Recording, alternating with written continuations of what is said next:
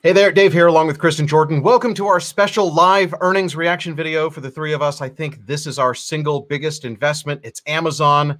40 to 50% of our portfolios wrapped up in one company. And we're 10 minutes away from the markets closing and Amazon releasing their Q1 earnings. So, as Amazon investors, what are we looking for in their earnings?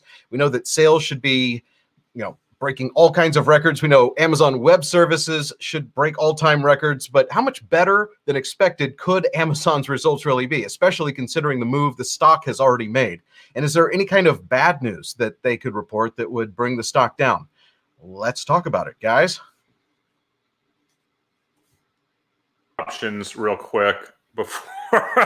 before we do this, hold on. You're selling options right now? No, I'll, I'll, I'll tell you what. Oh man, look at Amazon moving. Okay, I'll t- I'll, I'll tell you I'll why. I'll tell I'll explain why in a second. Just uh okay, hold on. This is so like oh so this much is, This is what it's like doing live uh live so okay, wait, wait. I'm I'm buying some Amazon, some more Amazon put hedge puts. That's all hedge puts. Okay, yeah. and I'll explain why. Remember this morning when I told you guys that I purchased twenty of the twenty three hundred dollar May put options on Amazon just as a hedge to like avoid the worst case scenario on my holdings. Yep. That didn't hedge everything. It hedged it hedged like 2000 of my 3000 Amazon shares I bought another uh, five contracts, so basically another 500 Amazon shares in the money um, about an hour and a half ago. And I wanted to also, I just wanted a little more. The protection is getting so cheap right now at that $2,300 level. I only yep. had to spend 7,000 bucks. Uh, I spent like $70,000 on the calls.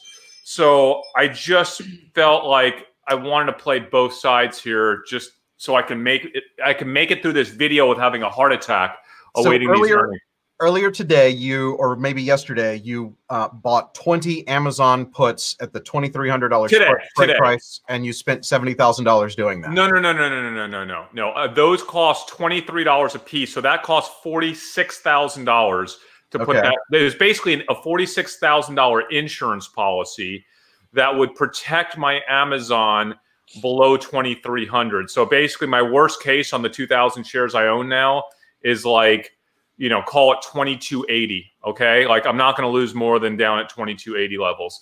Um, i just needed that for my mental sanity today. Um, and then as you know i also have a, a 10 of the $2300 call options like I think you have those, Dave, as I well. have those as well. Yeah. Um, so I technically have three thousand shares of Amazon, essentially, right? Um, so about you know, call it like five million and five million in straight up stock, plus another equivalent of another two and a half million in options. Um, I bought another five of those contracts two hours ago for seventy thousand dollars. The calls, the twenty three hundred calls. Okay. So now I, I have fifteen. I have twenty. I have the twenty four hundred calls I never, I had the 23s, I rolled them to, to the 24s, then I just held on to those, and it looks like those are trading for $99 a piece now. I'm up $40,000 today in those calls. And then in my stock, uh, looks like that's up, uh, what, what Amazon's up 3.7% today. Yeah. I, um, yeah. Listen, I mean, listen, I want Amazon, you know what, what I want? I want Amazon to go up 100, 200, 300 points, that'd be great. But now with these put options, I would not be sad if Amazon had a significant drop. Like I don't want to drop 100. I'll get killed if it drops 100 because I'll lose. You know, I'll lose. You I don't even start making. Yeah, I, I need it to drop 140 points or more for me to start making money on the downside right to make up for that. So it, i need to and really i know and i know what you're thinking because we talked about this. We we know that amazon unlike these other companies that have already report, reported earnings like microsoft and facebook we can talk about that in a minute. We know that amazon tends to be very quick to reset expectations whether it's way higher expenses or major investments yeah. in future products or projects or predicting and we were talking about this. What if, what if they just stop everything and say you know what? We're predicting another pandemic three years from now, and we want to build and scale out our infrastructure so that we are ready to hand it, handle it unlike any other company in the world, and we will be the lone survivors. They we know, do that. And well, they don't, they're not thinking about for sure that their human cost is going up, right? Because they've hired what over 175,000 people, and we know that that right. was a, a 300 million dollar expense, 400 sure. million dollar expense. Yep. So we have okay, we have at least 10 million long between us and Amazon, right? At least yes. 10 million, probably more. If you if you start adding up the option value, it's probably 12 million uh, long Amazon. Yeah, but I'm controlling I'm controlling 2,000 shares of Amazon myself, and I know that you. I'm controlling 30, 3,500, most of that in straight up equity. So that's 5,500. Jordan, you got to have at least a few hundred, even conservative view, right? Maybe like 150. Oh, I can't believe how small you go on this stuff. This is all we. We, we lost Jordan. We lost him. This is all kidding. we talk about. I don't. I don't. I don't put half my portfolio and stuff. I don't. I don't do it. I, That's what we do. I'm at. Uh, I'm at 45 percent Amazon right now. Oh my gosh. um, we, we, we sleep at night. We are. Yeah. So call it like 12 million in Amazon, roughly. Okay. So, but right, we two minutes have, away, two minutes away from earnings. We also have puts just in case it's a total catastrophe. But I don't, I don't. I'm flying blind. I've got only. I'm all long Amazon. Zero puts. Well, the the worst case scenario today is if Amazon falls 100 100 bucks, 150 bucks. Between like 50 and 150 dollar drop would be bad, okay? And and who knows. But other than other than your options, Amazon's our forever stock. If it goes up 100 points, we're staying in. If it goes down 100 points, we're staying in. Is there anything that they could say on this call that would make you want to sell your Amazon shares? Well, two things. One, if if Amazon after today, I will exit my Amazon options. Okay, that's happening, right? I'm exiting my Amazon options. So tomorrow, I will only be left with 2,000 shares of Amazon, and that's kind of my core holding of Amazon. Uh, I doubled it recently, so it's now a 2,000 share core holding. I'll have that from now on. But if Amazon goes down 300 bucks, two, $300, I will absolutely probably increase my Amazon position to at least 3,000 shares tomorrow. So I would buy what's likely to happen if Amazon falls. I'll buy more Amazon tomorrow. I'm not if selling it, any of my equity. Yeah. If it falls, I'm going to double my position from 150 to 300. Yeah. 300 chairs. Yeah. Yeah. It's so cheap. yeah. That'll put me, that'll put me at like eight for, I mean, that's, that's a lot. That's a lot for me. Right, if you think right. Jordan should buy more, smash the like button. yes. Guys, let, let us know that he needs to buy more. And if, if you like this video, smash the like button. We we need other people to find it. We actually started this earlier than we were planning to, and it looks like 300 people have already joined us. So thank you guys for joining us earlier.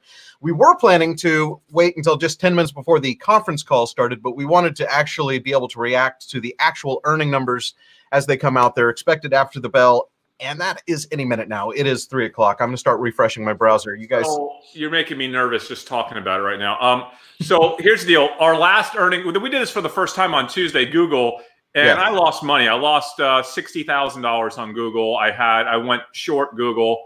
Uh, you know, the thesis wasn't there. Didn't work. Um, fortunately, I covered that Google right when right. Remember, right when earnings came out. Shortly after, we are waiting on that conference call. Oh, during the conference call. During the conference call. As soon as we heard that it was a 15% drop and not like a 20 plus percent drop, and when they said that it was getting slightly better in the last week, I was like, that's all I need to hear. Covered that. Thank goodness, because I would have lost like 150 in Google on that trade, but I only lost 60. Yesterday, I did that little surprise trade that I told you guys about going into the close. I bought some call options in Tesla uh, not because I like Tesla, because I know that Elon was going to do whatever it took to pump that stock, and he did. Pump, he did. I sold it right at the open this morning. right before, goodness. right before the fall. uh, I, I, was up like eighty percent in those options, 70, 80 percent in those options. Um, yeah, I sold those. So that made up for not all of my Google loss, but a good part of it. Um, and then I course, also made a uh, options play on Tesla, and we can talk about that after we talk about Amazon. I also want to talk about Microsoft. I want to talk about Facebook. We have a lot to cover Wait, today because Dave. Facebook and Microsoft came out with earnings yesterday. Amazon is today. Apple is coming out today. So we have a lot to talk about. How many shares of Apple? I have 7,000 shares of Apple. I have 6,900 shares of Apple too, um, which is the most I've had maybe ever. Ooh, I only, I only have two. How many, how many do you have, Jordan? Is it 20, 2380? Wait, what is Amazon? Amazon. Yeah. well, that's not tanking, but I mean, it's you know, it's down. is, are earnings out? I don't know. I don't I see it haven't, I haven't seen them yet. Down Here, 100. Let me, let me pull up the real time uh, after hours Uh, chart first for us. quarter sales seventy five point five billion. I don't know what that. So my worst case scenario is playing out. Eh, maybe not. I mean, it's kind of cruising back up. I, I, it's just going It to had the swing wild drop, for a while. but- Yeah. They, you know, Tesla had an immediate drop before shooting up yesterday on its earnings. Wait, Yeah. 23. Now it's at twenty four forty. So I mean, this thing's just swinging around. Oh, I'll take that. Okay, Yeah. that's great. Okay. It's swinging around. No, nothing. Uh, so can you take him to Kate? What are you reading? Are you guys reading this? I'm trying to pull it up. What happened here? I'm looking. It's not on. It's not on their investor relations site yet. so I I'm just see a headline that says first quarter sales seventy five and a half billion. I don't get how it's not on their investor relations site, site That's, amongst. that should be the first place that it goes. Yeah. Yeah. Um, Oh, here we go. Amazon announces first quarter results. Operating cash flow. What was the revenue? That's all I want to know. What was the revenue? The revenue was seventy five point five Ah. billion. That's not as high as I wanted it to be. But you know what? That was Q1. This, how much? they- how much was the revenue in Q1? did 75. It's good. That's really good. billion. Because I think the expectation on that, if I am not mistaken, was seventy-three. So that would be a huge miss. 71, 71, 73. But uh, listen, what's the guidance? L- That's all we need to know. Did they come out with guidance or are they holding that for the conference call? Hold on, I'm, sc- I'm scanning right now.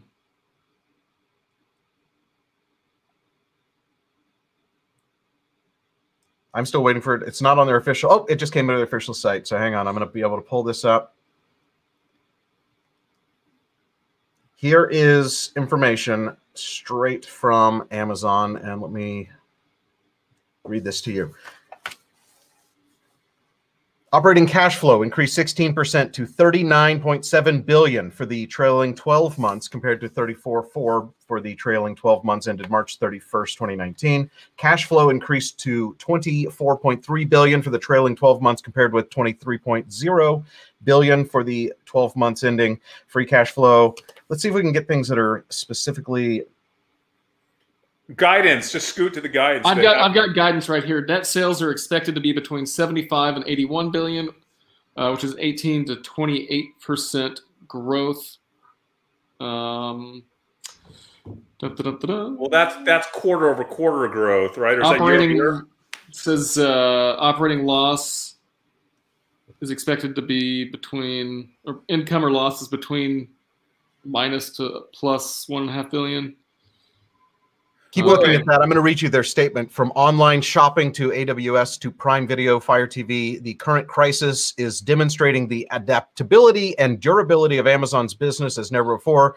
But we've also had the hardest time we've ever faced, according to Jeff Bezos, Amazon founder and CEO. We are inspired by all of the essential workers we see doing their jobs nurses and doctors, grocery store cashiers, police officers, and our own extraordinary frontline employees. Services we provide have never been more critical and more people doing the frontline work. Our employees and the contractors throughout our supply chain are counting on us to keep them safe as they do that work.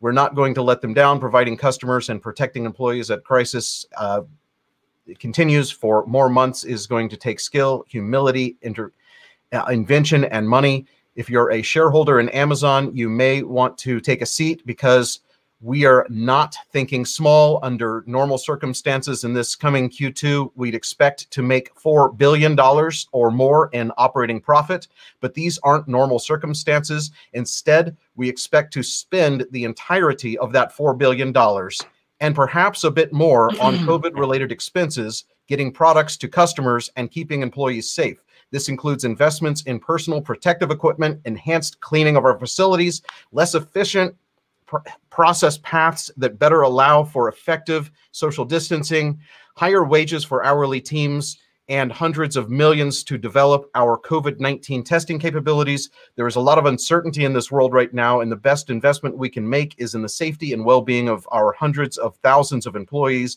I'm confident that our long term oriented shareholders will understand and embrace our approach and that in fact they would expect no less. So that is the statement from Amazon right now and from Jeff.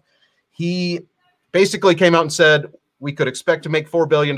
We're going to spend $4 billion, if not more. Chris, that is what we were talking about. Exactly what we've been talking about all week. Scenario. And you can see the initial reaction to that in the after hours trading. If we zoom in here, this shaded section, that's after hours, right where that steep drop happened. We had a little, we had a big drop, a little bit of an uptick, another big drop down to 2320. I'm going to continue reading this release. If you have any other information you want to share that you've seen, Jordan. Um, no, no, yeah, you go ahead and read. Uh, we're talking. They they, they have a whole section about COVID. They have a whole section about what they're doing for employees, what they're doing for customers, prioritizing and stocking and delivery of essential items to ensure fastest delivery of household staples, medical supplies, and other critical products. They're acting aggressively to protect customers from bad actors who have rem- and they've removed a million offers from stores based on price gouging. They've suspended 10,000 selling, 10, selling accounts globally. They're supporting the White House's High Performance Computing Consortium, providing computing resources to advance research, diagnostic treatment, and vaccines. Talking about uh, AWS, lessening the impact on families, communities, and businesses.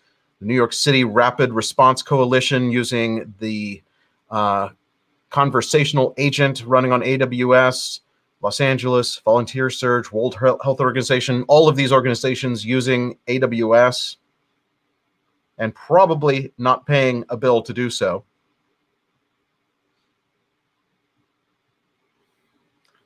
So basically, everything we were concerned about happened.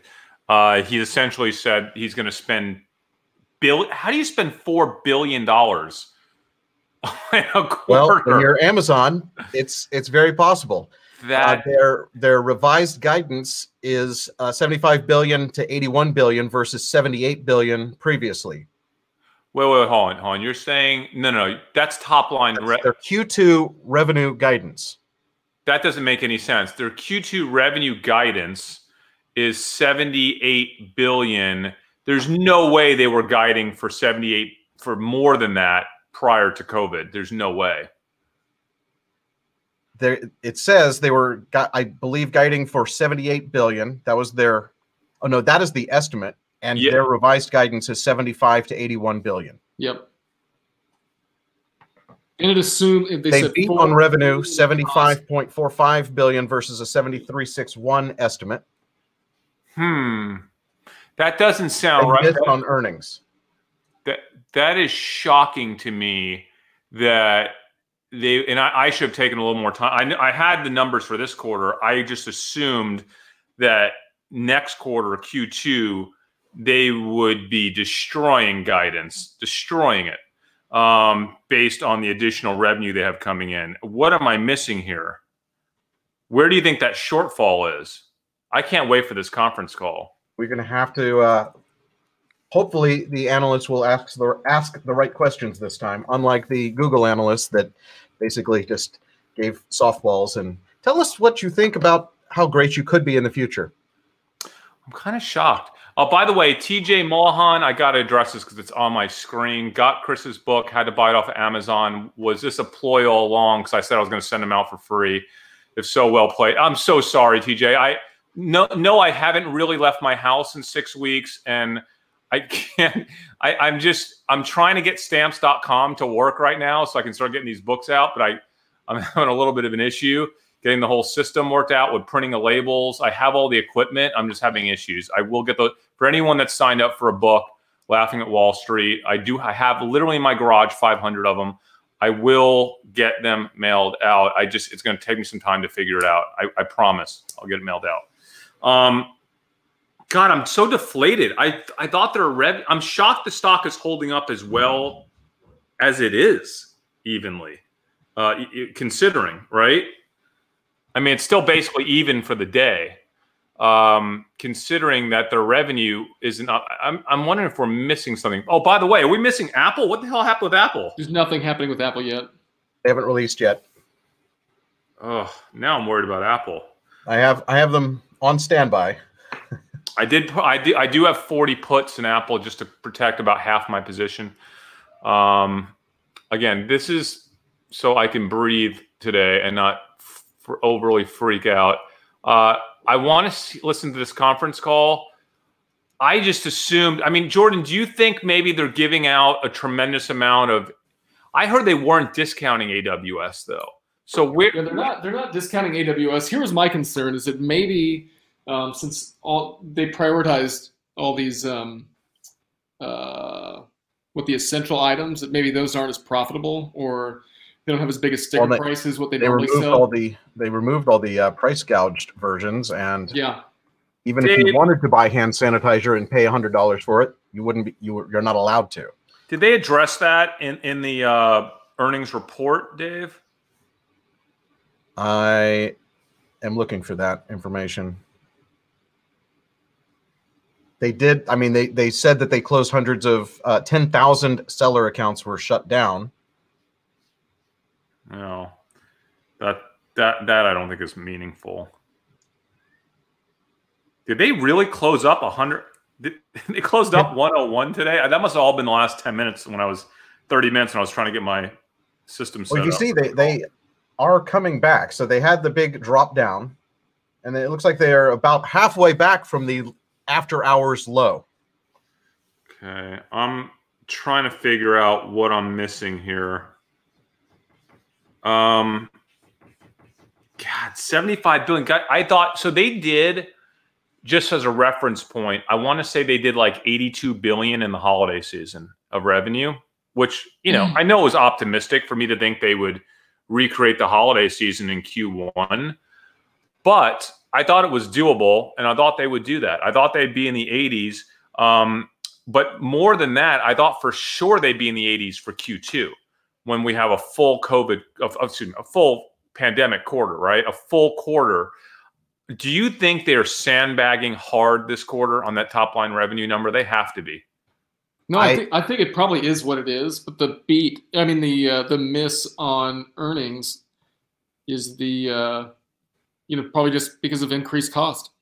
Yeah, which is not a super surprise, of course. Yeah. Uh, did they get into how many? They, uh, they, they beat on revenue, so they yeah. missed on earnings and beat they, on revenue. Right. Did they did they talk about Prime? Uh, how many Prime members were added in the quarter? You have the, do you not have the release? Here, I'm well, gonna send it to you. I know. It's on their investor page. Okay. I'm reading through summary reports, so I don't. No one's mentioning it in summary reports. on.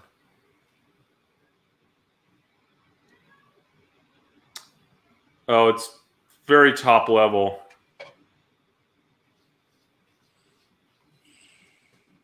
Okay, so the conference call will be pretty sub- substantial because I don't think. Let's see. U.S.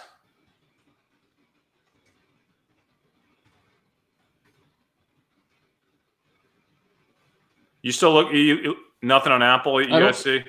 I don't see anything on the Prime users. I was uh, scanning for that. That's kind of shocking that they wouldn't mention anything on Prime users maybe a little concerning as well. Yeah, and I'm not I'm not seeing anything for Apple either.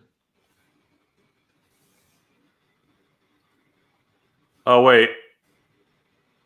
No.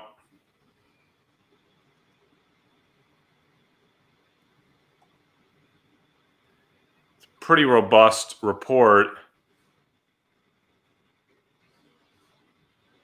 And nothing on Prime number of Prime users added, which is a key data point for them right now. It's honestly a little concerning that they wouldn't have that. This, so the stock is acting pretty well, I would say, considering. Yeah, I mean, so if you think about where they were before this whole thing hit, you know, they were topping out at like what 20, 150 or 2200 bucks or so. And then things are slightly better than they were then uh, for Amazon. So and they're right here in the 2300s yeah. basically 2400 right they're 2350 right now so yeah. no complaints i just i'm a little deflated because i really did expect something bigger and way bigger out of this earnings report and especially guidance into q2 i'm just shocked let's see what some of our uh, subscribers have to say here pull some comments but also keep looking for that Apple number. Maybe Apple will save the day Apple's, or make it worse. Uh, Apple's conference call is scheduled for 2 Pacific, 5 Eastern. So that is um, just under, well, about 45 minutes away. Okay. They may not, uh, they'll definitely pre release their press release before the earnings. So if Amazon stays, by the way, just just a note that uh, Visa just uh, beat their uh, estimates. Interesting. Visa, yeah, mm-hmm. no, whatever. And the Q2 payment volume was up five percent. Really? Oh. So Q2 payment. How is that even happening? So if Amazon process thirty-five billion dollars. If, What's if, that? if Amazon stays where it is right now at 2350, my calls, I have about 70K in calls that were running around one, I think I averaged into them at around 115. The, those are the 2300s. They'll be worth 50, call it 60. They'll have a little premium. Call it I call it I lose half on that. So that's about 35k loss there. Then on the puts, those insurance puts, which was not that much, but it was still ended up being I added another 7k that would be on top of it's about 55 so add 55k plus another 35 that's 8 that's 90 so that's a $90,000 loss on the Oh wait there's more than that that I'm losing though. Wait No 23 no, that's that's about right. About 90k, I think, is my loss on, on all my options, on the options that I have on Amazon. Um, right. Chris, the one place that they do report subscription, uh, Amazon Prime memberships, is in their subscription services, and that includes Amazon Prime memberships, and I'm guessing that's the primary driver, but it also includes audiobook, digital video, digital music, ebook, and other non-AWS subscription services.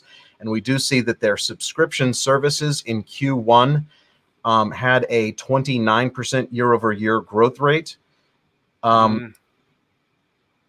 That doesn't mean Q1 of 2019 had a 42% growth rate. Growth rate, so it's down, and it it's looks down. like 29% is the lowest growth rate we've seen since Q4 of 2018. So they might have on their had, subscription services. They might have gotten my data didn't really show it showed this a bit. I didn't realize how big it would be. They might have gotten a lot of prime cancellations this quarter um, which is interesting. It's not awesome. Like i said it, this could be worse if it stays where it is i'd like it to stay where it is and not head down another 100 points and if it heads down another 100 i hope it heads down 200 so I can make money on those puts, right? oh man, this is like not not the greatest outcome. So the Amazon conference call is scheduled for 2:30 Pacific. The Apple conference call is scheduled for 2 o'clock. So we should be able to bring you some of the Apple call before we switch over to Amazon. We're still waiting for Apple to report their numbers uh, there, there, there's Lynn in our comments. Amazon's a major hold. There's no way they don't get through this. Smell like rose. Of course they'll be fine. I mean, Lynn's great because he just has equity. He's not worried about it. He's just holding his equity forever, like Jordan. Um, so it's fine for him. I mean, like like I said, we we pushed the limit a little bit with our options, Dave. Yeah. Both on the long side, and then quite honestly, me on the short side too, just as insurance, and that's just going to cost. It's just going to cost some money. That's that's the cost of insuring a, a very large position um, this middle zone is what I didn't want, and it's exactly what we got today. So Maybe yeah, the call the call could make a difference, you know. Yeah, uh, Donald Hall, oh for two boys. You're right. This week we had kind of our two our two calls going into this week Well, you know, I hate to say that because it's not really true. Because the reality is, Amazon's up so much this right. week. We we we're Amazon's talking, up. What is it like? Thirty percent for the year? Yeah, in a, in a market where everything else is down. No, I think I want to say, Dave, up until earnings in the last four days on Amazon, uh, I'm probably up. I don't know, three hundred thousand on Amazon, right? Three four hundred. So I mean, now I'm talking about a ninety thousand dollar loss, but it's guys, don't don't don't shed any tears for us. We're we're we're just fine. Um, it just it just we we're hoping for something, you know, hoping for something a little more exciting. Uh, Chris, something that is a little more exciting was your uh, the next question there. Can you talk about Tesla? Yesterday, as the market was closing, you decided to make a bet on Tesla. Yeah, so I had I had spent uh, a lot of time the last few days. I've been I'm fascinated with Elon Musk, and I'm fascinated with him doing shady things. Um, I don't think there's really any ceiling to the level of shadiness that he will rationalize for some reason that he thinks is okay. It's okay to say this, or it's okay to do that. Um, and, and, I just I don't trust the guy at all. I don't trust anything comes out of his mouth. I think he'll do whatever it takes for Tesla. He's the dream CEO. He can pump a stock like no other. Uh, he has evidently, I've you know read at least. I don't know if it's true, but the details of his performance-based compensation that he gets a billion dollars if you know the stock remains above a certain level and certainly he's going to do everything he can i think to, to, to keep it at that level. But more importantly it looks like uh, tesla's likely going to need to raise additional money additional capital. And the best way to raise that additional capital is with a strong stock price. So i knew he was going to try to pump this quarter as hard as he could. There's a lot of things happening behind the scenes. It's very, very hard to prove. But one of the things that was really bothersome to me that i knew he would do stuff like this like warranty uh, wa- warranty um, reserves at Tesla. Did you guys see this? Their warranty reserves uh, went way down. For what reason would they think they could just? It's all about. It's all a, a, an income statement thing, right? It's not cash yeah. flow. They can take what they had reserved for warranty claims and dramatically reduce them, which actually props up right the, the, their their profits. Uh, so there's a lot of shady things happening. I expected that was going to happen and I went long. I already am long Tesla, but I, I bought some a, a, bunch of Tesla call options, and I made back almost what I lost on uh, Google uh, two days ago. So it was a nice it was a nice trade. I sold them this morning when Tesla was up huge. Uh, I think people started to catch wind into a lot of this stuff throughout the trading day. So uh, what Apple still not giving us anything 25 minutes later? I'm still not finding anything on Apple. Yeah. Um, guys, I have made some other trades this week, though. You want to just talk about some of these other trades I made? I'm just going to check real quick to make sure that we're not missing something. Okay, well let me let me talk about my trades because I have my highest nope. conviction trade. Oh, still awaiting Apple earnings. Okay, so my highest conviction trade right now that I'm getting higher conviction on over the course of the past week is Peloton. Um, other than my core position of Amazon and Apple, which are my two biggest. Peloton's right there. It's like my biggest position long. And the they just increased the wait time on Peloton from four to seven weeks to just a few days, couple of last couple days, five to eight weeks. Now I stood on hold for about 40 minutes, 30, 40 minutes today, and I spoke to a Peloton rep uh, just trying to get whatever information I could. I was like, "Did you? Are you guys have less uh, delivery drivers now than you did last quarter? Like, what what's the deal with the waits? And she's like, no, we have the same number of delivery drivers as we always have had, as we had last quarter. So, and, and I actually believe when you look at who is doing their delivery, I think it's called XPO. They're a massive six billion dollar logistics company. I believe that uh, Peloton probably had the ability to ramp up their delivery. So I just want to see if there are any red flags with delivery issues. And if there's not, for them to now be almost quadruple the delivery time that people are are, are cus- that's customary for Peloton. Well, look, it's not just XPO; they've got their own in-house delivery also. Um, in fact, I got I was delivered by their in-house. I oh, you were. A, I thought it was a small percentage that did XPO, or am I am I off base here? Well, so it's kind of like the way people use AWS to supplement their own, you know, in-house, right? Yeah. Uh, cloud infrastructure. Yeah, I thought I thought they just used XPO basically where where in places that they don't have like an actual physical presence. Like in DFW, you've got uh, they've got like actual um, like storefronts and stuff, and so they've got a place to be and to collect inventory and things. Gotcha. Uh, but maybe if you're in like a you know middle market type place that a, a lot of the XPO. A lot of the buzz that I read on Twitter related to Peloton deliveries is citing XPO all the time.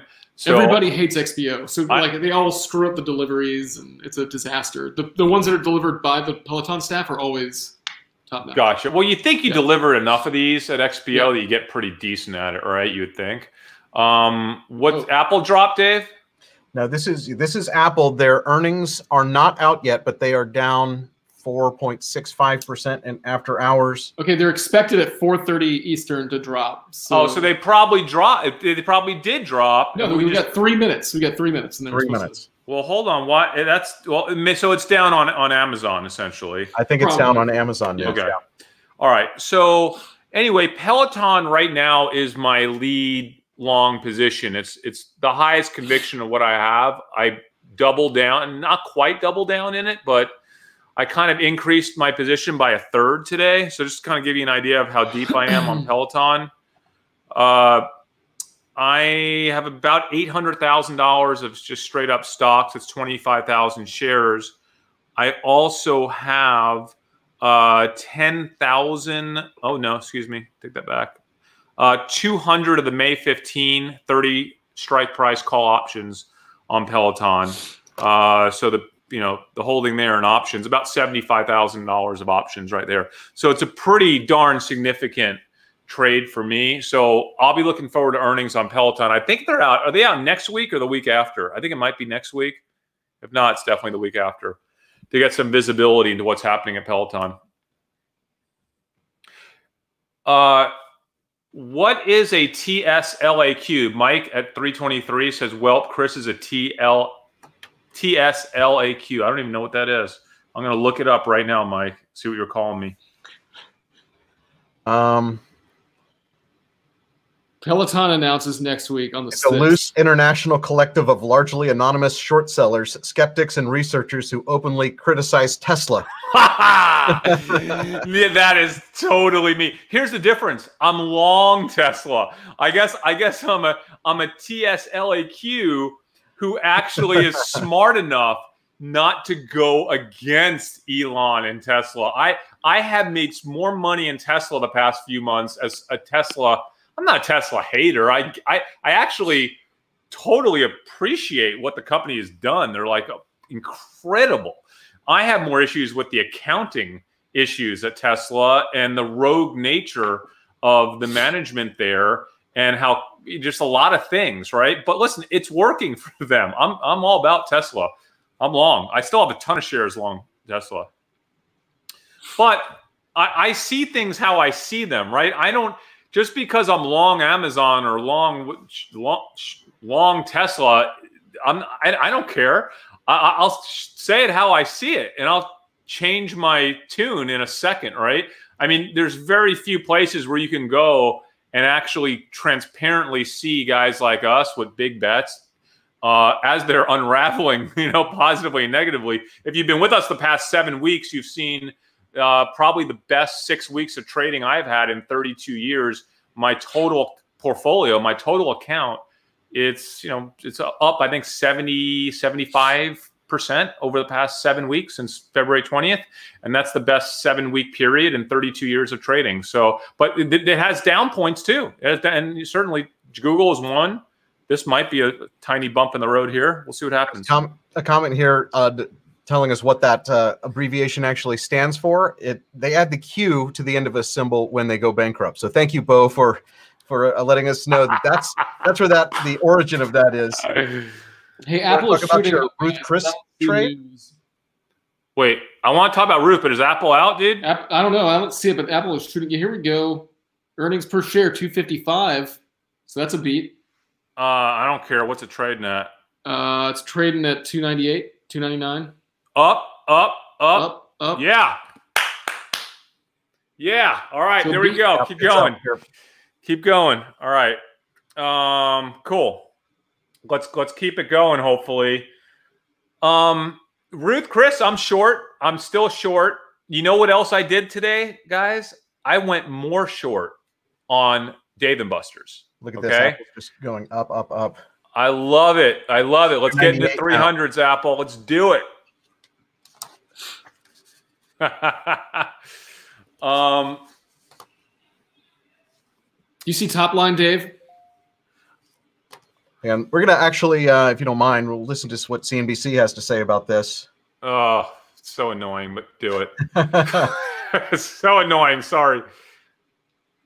Hang on, I've, I've got to figure out how to, how to hear them. So much better when they're muted. Uh, well, we can look at the numbers: two fifty five versus two twenty six. Uh, the only thing they're good at is just reading you what you know, reading from a transcript or telling us what just happened. That's the one time I don't mind listening to them. Here's so a headline: you... Apple boosts buyback program by 50 billion. Wow. That's wow. I love it, man. Apple Apple boosts dividend to 82 cents. Nice. Dude, I needed I needed that right now. I so I just needed a win today after Google. Well, I, we got one yesterday with Tesla, but it's. I feel like we didn't air it yesterday, so it was just us, and you know, no one got to see the win. At least we get at least we get a win out of Apple. That's yeah. nice. Oh, that's great. Um, it's not it's not a levered position or anything, but it's it's nice to get you know nice to see Apple going up.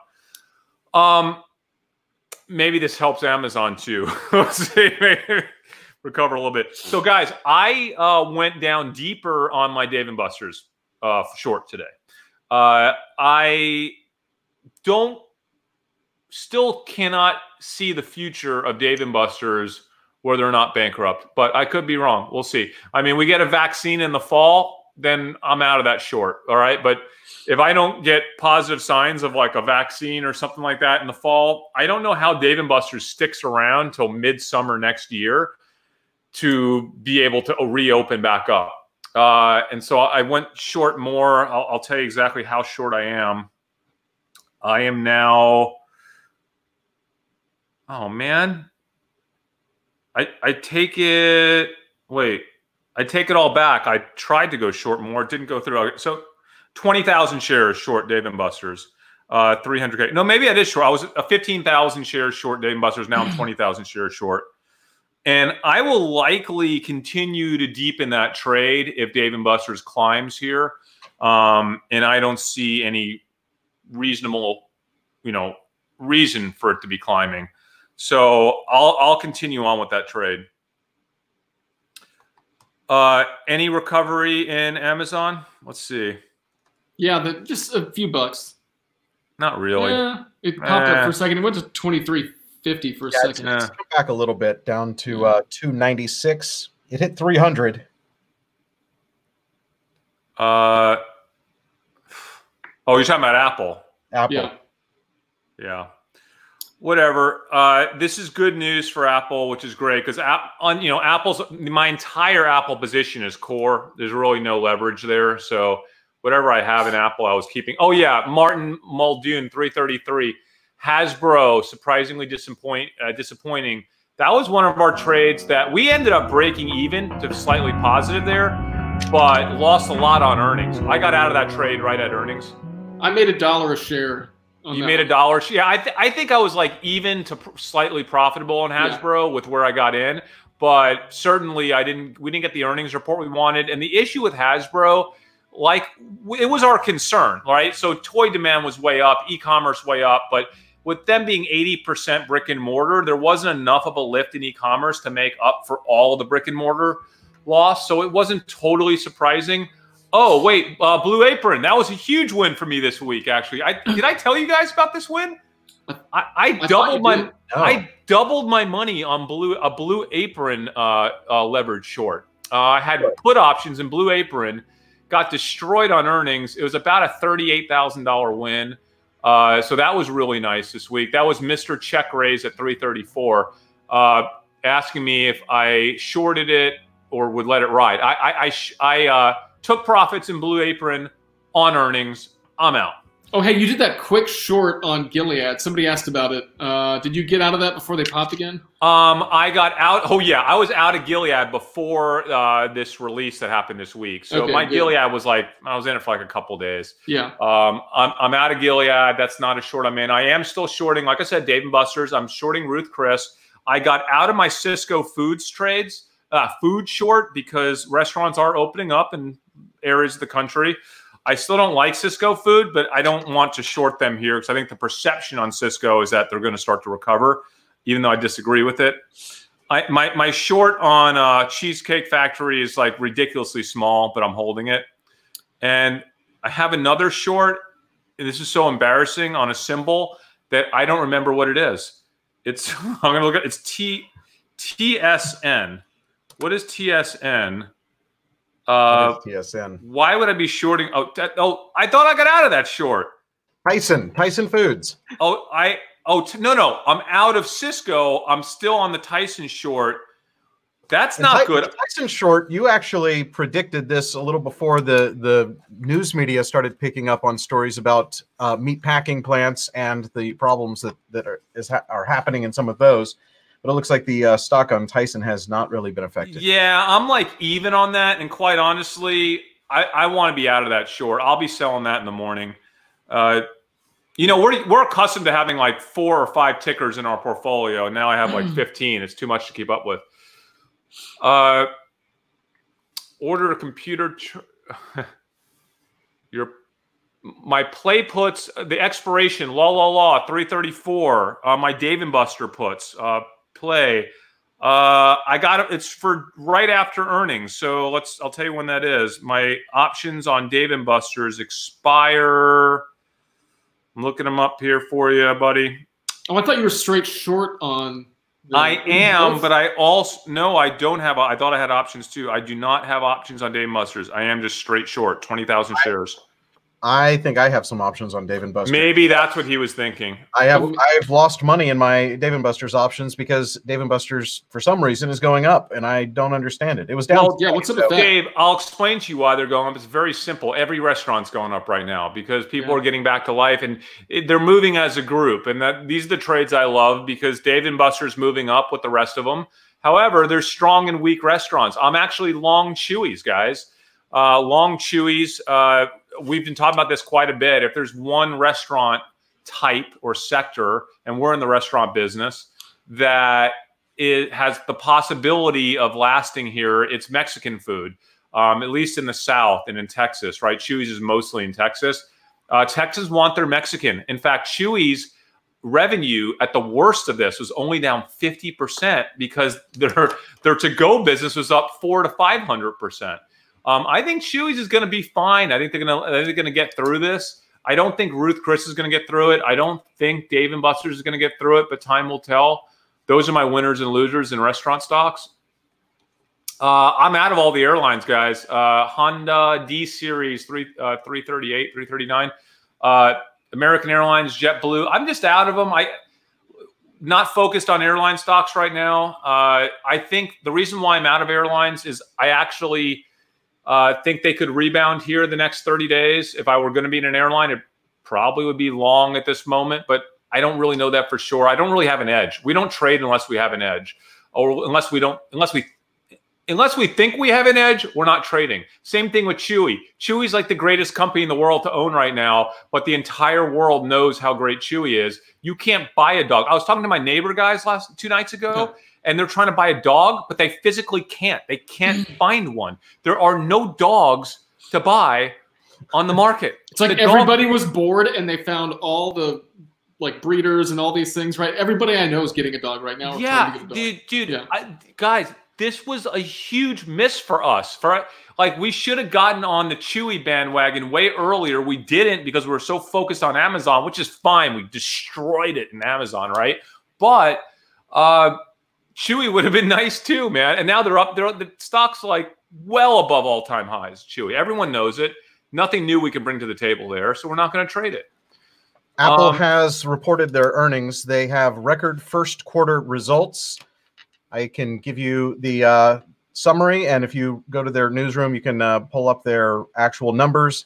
Apple today announced financial results for its fiscal 2020 first quarter ended December 28th, 2019. Wait a minute. Is this the right? Am I looking at the right release? What are you reading, Dave? No, this is old. Dave, what are you doing?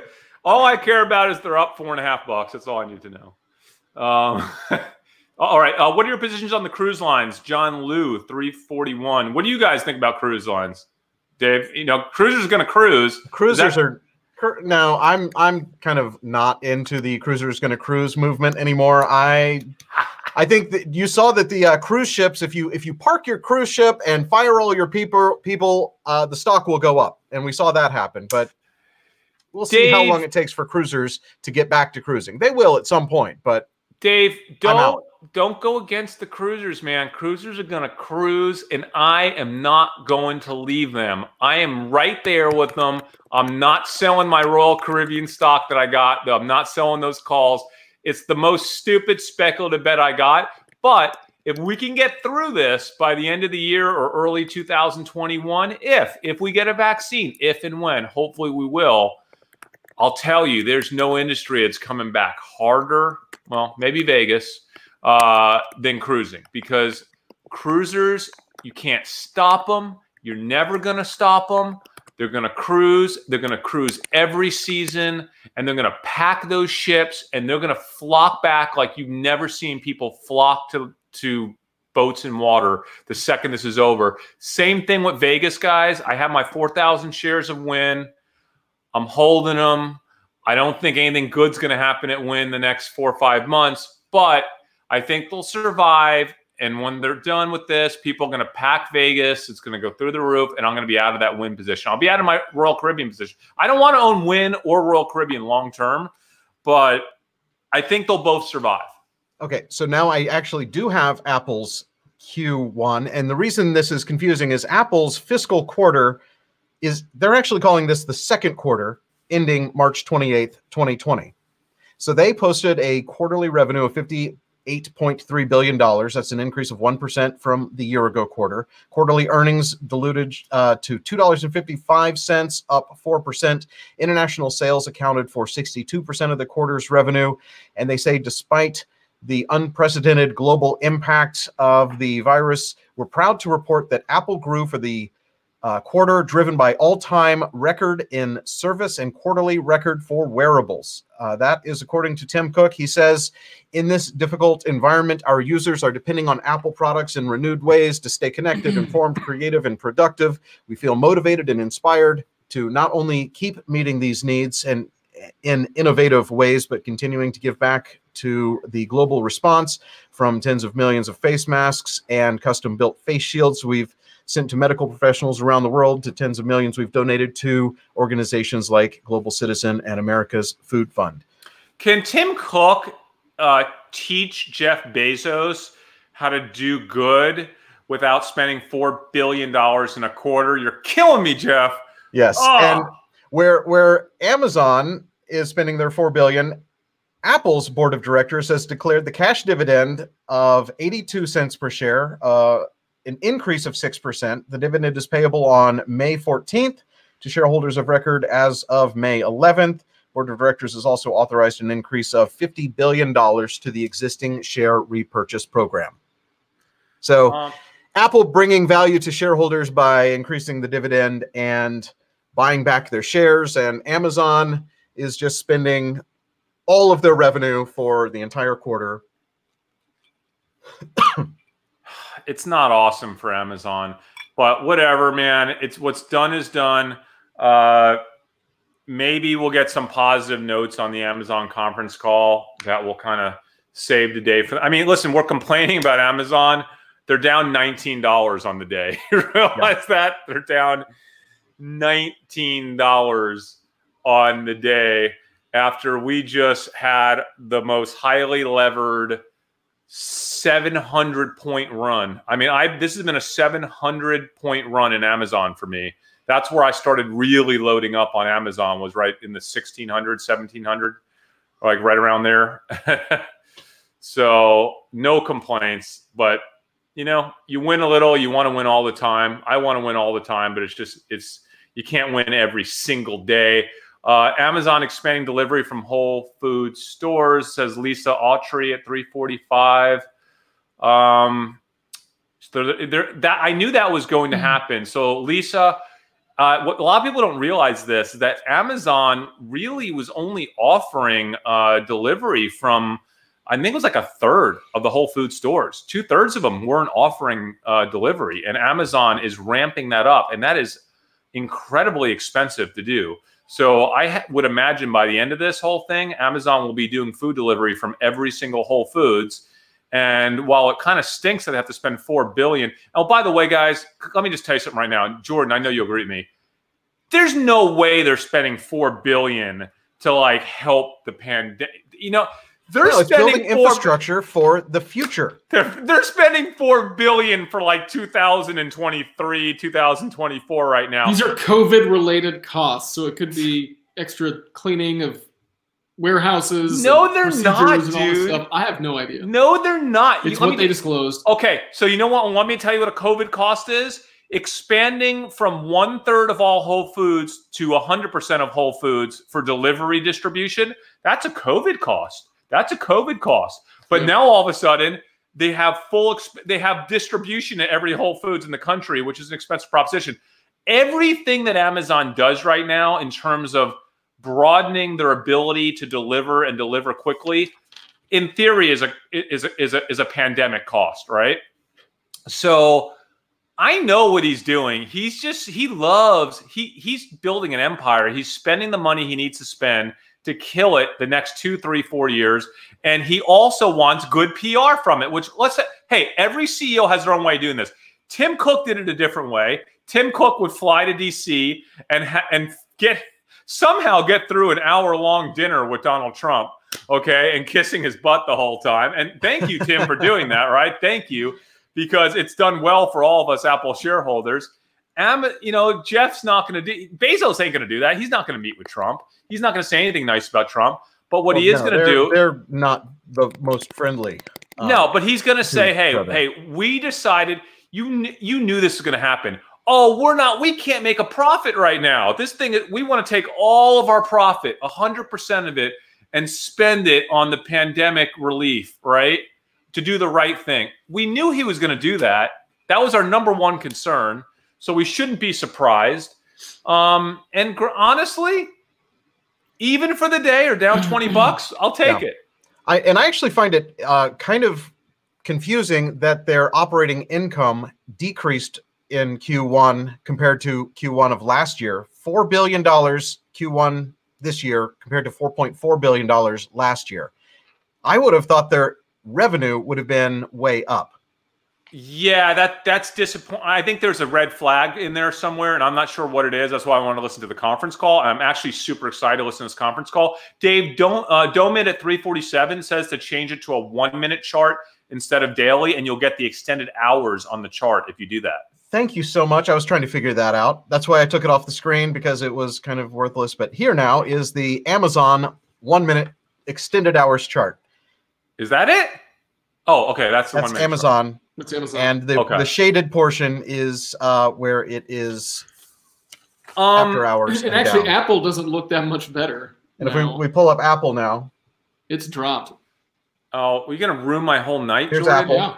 Oh, it's it's down.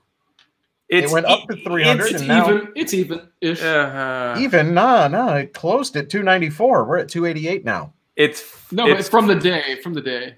It's fine. Oh, but it's fine. Don't freak out. We're good. Uh, Look at these comments coming in. All right. Uh, by the way, Apple's gonna uh, have a ter- terrible Q2. Um, wait, who's gonna have a terrible Q2? The comment just said Apple's going to have a terrible Q2. Did they release some guidance just now that wasn't in the? They pulled report? their Q3 guidance. I believe they have Q2 guidance. Um, Apple Q2, I think, is going to be just fine it's going to be just fine. Um, it listen, like we said, like all the data we've been actually, running. And Apple's Qs are off, so the guidance they pulled for Q3 is actually the quarter that we're living in right now. Yeah, I think I think it will be I think it will be okay. All of our data uh, related to MacBooks, related to I mean, phone sales will be a little slow. Um, China's coming back online. That's good this quarter. Hey, they got um, an iPad sale out of you. You're right here. If I can just figure out how to use it, so you guys can get better video on these things, like my yeah, look look at how low resolution Chris is. It's that's it's really pathetic. I, I just spent on this iPad Pro, and we can't figure out how to get it connected to our system. We'll figure it out. Uh, let me just see here. I, I was reading a uh, oh FedEx and UPS. Long wants to know 347. Any thoughts on future FedEx and UPS? Well, we already have FedEx and UPS. It's called Amazon. That that's our trade on it. Uh, I don't really have any thoughts on FedEx and UPS. Uh, we, I don't know anything that the rest of the market doesn't know. Um, I'm starting to rethink Amazon right now. I'm really disappointed that their revenue wasn't higher uh, on guidance. Are you? Are you really rethinking Amazon? No, I'm not. I'll tell you why I'm not. I just changed my mind. I didn't again. think there was anything that would make me want to sell my Amazon. no, i am not selling Amazon. You know what I just realized? He's sandbagging this quarter, this next quarter, Dave. It's That's happening. It's, he's exactly sandbagging. I know he is.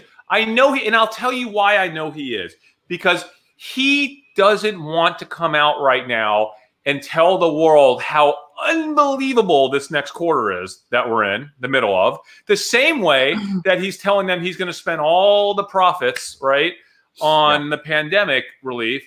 So I get it. I get the positioning. We shouldn't be surprised, but I also know that that top line number in Q2, you can't fool me. There's no way it's going to be he's going to do better than what is it 77 what did he say was going to be this quarter? 77 or million? Billion? 77 billion? Um or 75 77 to 81 or something like no, that no no no he's going to clear 80 billion this quarter. I will be shocked if amazon doesn't clear 80 billion this quarter or do considerably higher.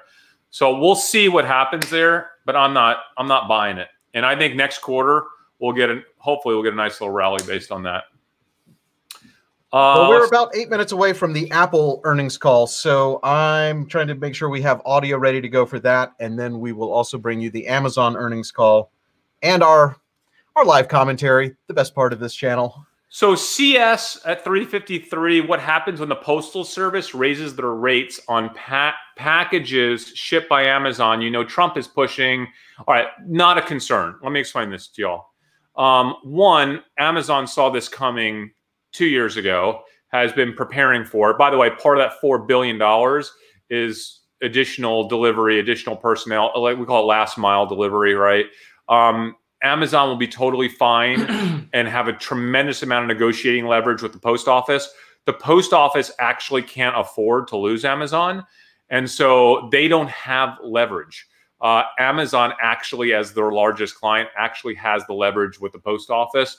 And even in a worst case scenario, Amazon would be, I think, would be totally fine because they are building out such massive last mile delivery now that they're becoming less and less reliant on the postal office. That's part of the issue the postal office is having is that they created that whole stir where Trump did. The post office, when Trump created that stir, remember this? They're like, please don't say, just stop, stop. We're good with our Amazon. They love the Amazon relationship. That's what most people don't realize.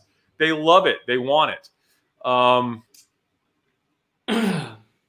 anyway, yeah, Chris Erickson, like I said, they only do last mile, and Amazon's doing last mile now themselves. So they're they're not going to need the post office in a few years. Yeah, most of my deliveries are a uniformed Amazon employee. Yeah, I mean, I get like nine to twelve deliveries a day from Amazon in my house, and I would say, I would say almost all of them are Amazon, some are UPS, and a few FedEx. Uh, by the way, I am getting that. Speaking of Apple, oh, are we on here? We have I'm, music, but I get I'm getting my Magic Keyboard today, that new keyboard for the iPad, and I cannot yeah. wait to try it out. Uh, I still need to figure out how to use it for these shows. um, so I sent you a link on Amazon to a tripod adapter that will let you uh, attach the iPad to a tripod. So that's hopefully hopefully the next time you guys see us, it will be slightly higher resolution for Chris. We need to figure out how to get the, resol- the, the camera to work with our software though. Um, by the way, someone just asked about our uh, oh Newell Brands is tomorrow. Corey Schottenstein at 352. Newell Brands, uh, we used to trade them all the time. I have no idea what's going to happen with that one. I'm out. They're all about small appliances, and we had a whole show talking about small appliance demand being through the roof But the same way toy demand was through the roof this quarter, didn't really matter as much for Hasbro because 80% of their distribution was brick and mortar. Similar thing for Newell Brands. Newell Brands, most of their distribution is brick and mortar at places like Macy's. You know, you're walking through the home section, they have all that junk and toaster ovens. Well, that's the issue for Newell Brands. So I'm staying away. Small appliance demand is up, but small appliance distribution is down. So that's something you have to really think about. There's a positive and a negative. I can't figure it out, so I'm staying out. Uh, I'm still long Ford, Truth Austin at 352. Uh, you guys still long Ford with me, or are you giving up on me and Ford? Oh, I am not long Ford. Yeah, I not, didn't do your trade, but I oh. did do the trade that um, I talked about on that show. The alternate version of the way I'm going to get my free Ford Bronco is I was going to do uh, some put selling on uh, Ford, Ford puts, yeah. but instead I did it with Tesla, and I made thirty. Uh, my target was making thirty-eight thousand dollars, and I did. Did you do it? Easy peasy. I did it. I did it. awesome. So all I had to do was sell. Uh, I sold, I think, five Tesla puts for thirty-eight thousand dollars, and it was ten points below the strike. I sold them for like sixty-seven dollars each, so that got me my free Ford Bronco, and I was I was completely willing to own Tesla at seven fifty, but by selling those puts, my effective price was way down in the 600s, okay, because they were $77 uh, puts. And I was basically, it, it, actually went down to that 600s uh, range at one point, but I was actually able to just hang in there. And you saw what happened yesterday. okay, so. So, Dave, to be clear, Dave is potentially interested in the Ford Bronco Sport. I'm getting the Ford Bronco. No, I did some more Sport. research. I did some more research, and I think I actually want the Ford Bronco. Oh, all right. So we're the both getting the same car because it's, it's it's not that much bigger. Well, we'll see who gets it first. Mine's paid for. Elon bought mine for me. Dude, dude, what are you talking about, dude? I said the same thing. I made it. Elon bought mine yesterday. Well, I just bought calls. You sold puts. We both got Elon to buy us a Bronco then. But hey, let's just talk about Ford in general listen, I know a lot of people don't understand this trade, and I get it. Um, I believe that this summer is going to be an okay-ish summer for car sales, and I think that if we can just get manufacturers producing cars again, zero percent interest for 84 months. And by the way, this is a Ford chart, and this is the reason I did not do this trade because Ford historically, if we if we go way back, Ford is not a company that I want to own, and I only sell puts in companies that I want to own anyway. Are you a technician now? All of a sudden?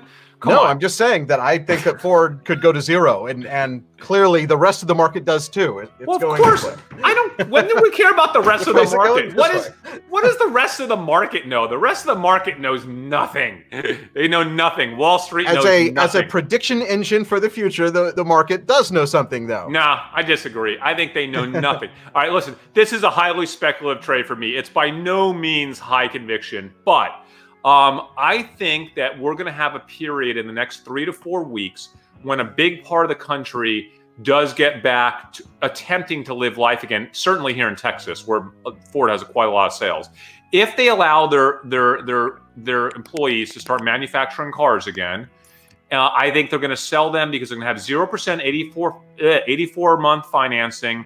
I think it's going to be relatively strong this summer. I think Ford's going to have an okay summer, not a good summer, but an okay, kind of a junky summer. But even that will be enough to lift Ford at least back into like six, seven, maybe even eight bucks a share, maybe, right? And that would be a 50% move upwards from where it is today. So I like the risk reward on Ford that has been beaten down and still no one likes it. I get no one likes it. They have I... the money to survive this summer. I like that risk reward. I didn't like it enough to actually do it. So I took a way more volatile. I couldn't do this the options with Ford because there's no premium because Ford isn't as volatile. I was able to get seventy dollars for put options that expired in two and a half weeks. Oh. Whatever. So, I have, so for, I have, for minimal risk and in a stock that I would have loved to own in the 650s, which is what would have been my effective price. It was trading at 670. I could have gotten it at 650. That's what I wanted to do. That should have been a whole episode of Hey There, Dave here. And I actually started writing out a little script for it, but it was it got too complicated too fast. So are you still talking about Tesla or Ford now? You're talking about He's Tesla. talking about the I'm Tesla talking about puts Tesla. that he sold. Yeah. So I didn't do the Ford puts because there wasn't enough premium, right? No, I so get I it. had to I, do Tesla. I get Oh, it. I get well, Apple Apple is starting now. Are you guys ready? Uh, kinda. They're gonna talk junk for the first five minutes. Um, let's see. Anyway, No, listen. they're going straight to questions. They're going straight. to Oh questions. yeah, let's Good do. afternoon, Oh, thank. thank this you is for joining awesome. us. Let's do it. Speaking first today is Apple CEO Tim Cook, Oh, and he'll no. be followed by CFO Luca Maestri. We, we have opening After that, comments. we'll open we thought it was going to be. questions from analysts. All right, we'll listen to Tim Please for a second. that some of the It, it sounded like it was going to be questions, but uh, now they're introducing Tim Cook Making statements, including and telling us about forward-looking statements. Those regarding revenue, gross margin, operating expenses, other income and By the way, Dave, taxes, Ford's not running out of money this summer. Not even close. business They're outlook, fine. including the So the big question is, Will people get back to you know life and to some extent? operations. Actual results or trends could differ materially from our forecast. For more information, please refer to the risk factors discussed in Apple's most recently filed periodic reports on Form Brian 10-K Cruz, and Jordan's a pickup guy, not a not an Form SUV 8-K guy. Filed with the SEC He- he- today. and he hates along with the Ford as a company. He hates Ford as a Apple brand. They they, no they screwed him on his last pickup truck. Forward-looking I had a bad Ford experience. information which speak as of their respective dates. So now I'm I'd now like to turn the call the over to Tim for out. Introductory buy the remarks. Hey, Thanks, Ford Just- owns Okay, half a here's, billion hey, dollars. here's, here's Tim, guys. Tim's Thanks talking. for joining us today. I hope you're staying safe and well. Today, Apple reports $58.3 billion in revenue, an all-time record for services, and a quarterly record for wearables, home, and accessories. It was also a quarterly revenue record for Apple Retail, powered by phenomenal growth in our online store. Amid the most challenging global environment in which we've ever operated our business, we're proud to say that Apple grew during the quarter. But before we dive more deeply into the numbers, I want to speak just for a bit on COVID 19. This is something Apple has been contending with since January, and I think that how we have responded, what we have been inspired to do, tells an important story about Apple's great durability as a business and the enduring importance of our products in our customers' lives. It also speaks to Apple's unmatched capacity to be creative, to think always in terms of the long term, and to forge ahead when others may feel an instinct to pull back. Before COVID 19 was on the horizon, we anticipated that Q2 was going to be a prolific and energetic period for Apple. And when the pandemic did strike, our teams not only succeeded in growing the business, in introducing powerful new products, and in meeting our customers' needs, but they also rose to the occasion in terms of meeting our broader obligations to the communities in which we live and work. Let's look quickly across the business.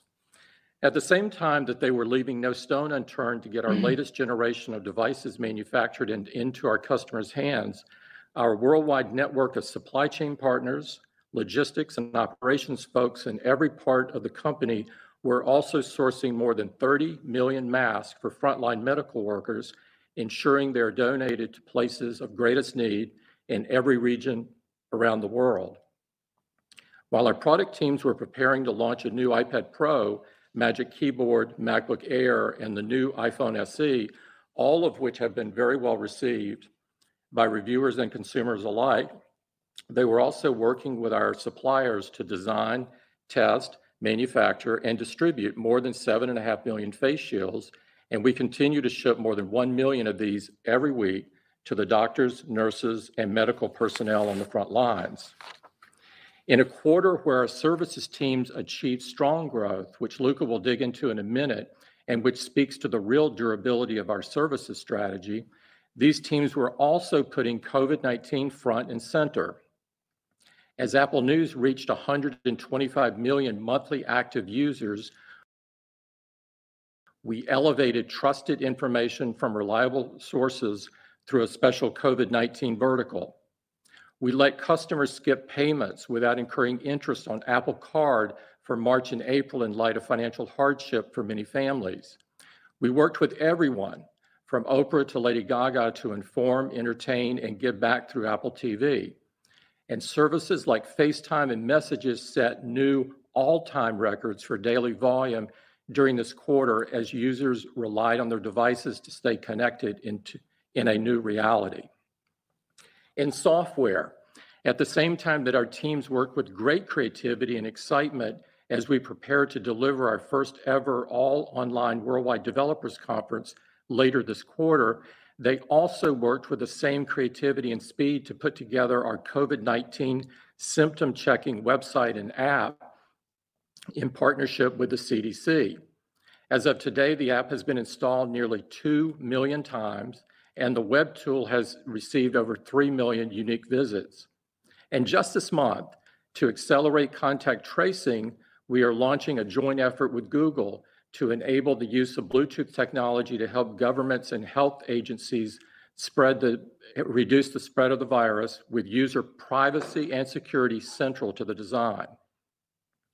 We've paired these programmatic efforts with a broader strategy to give back where it's needed most.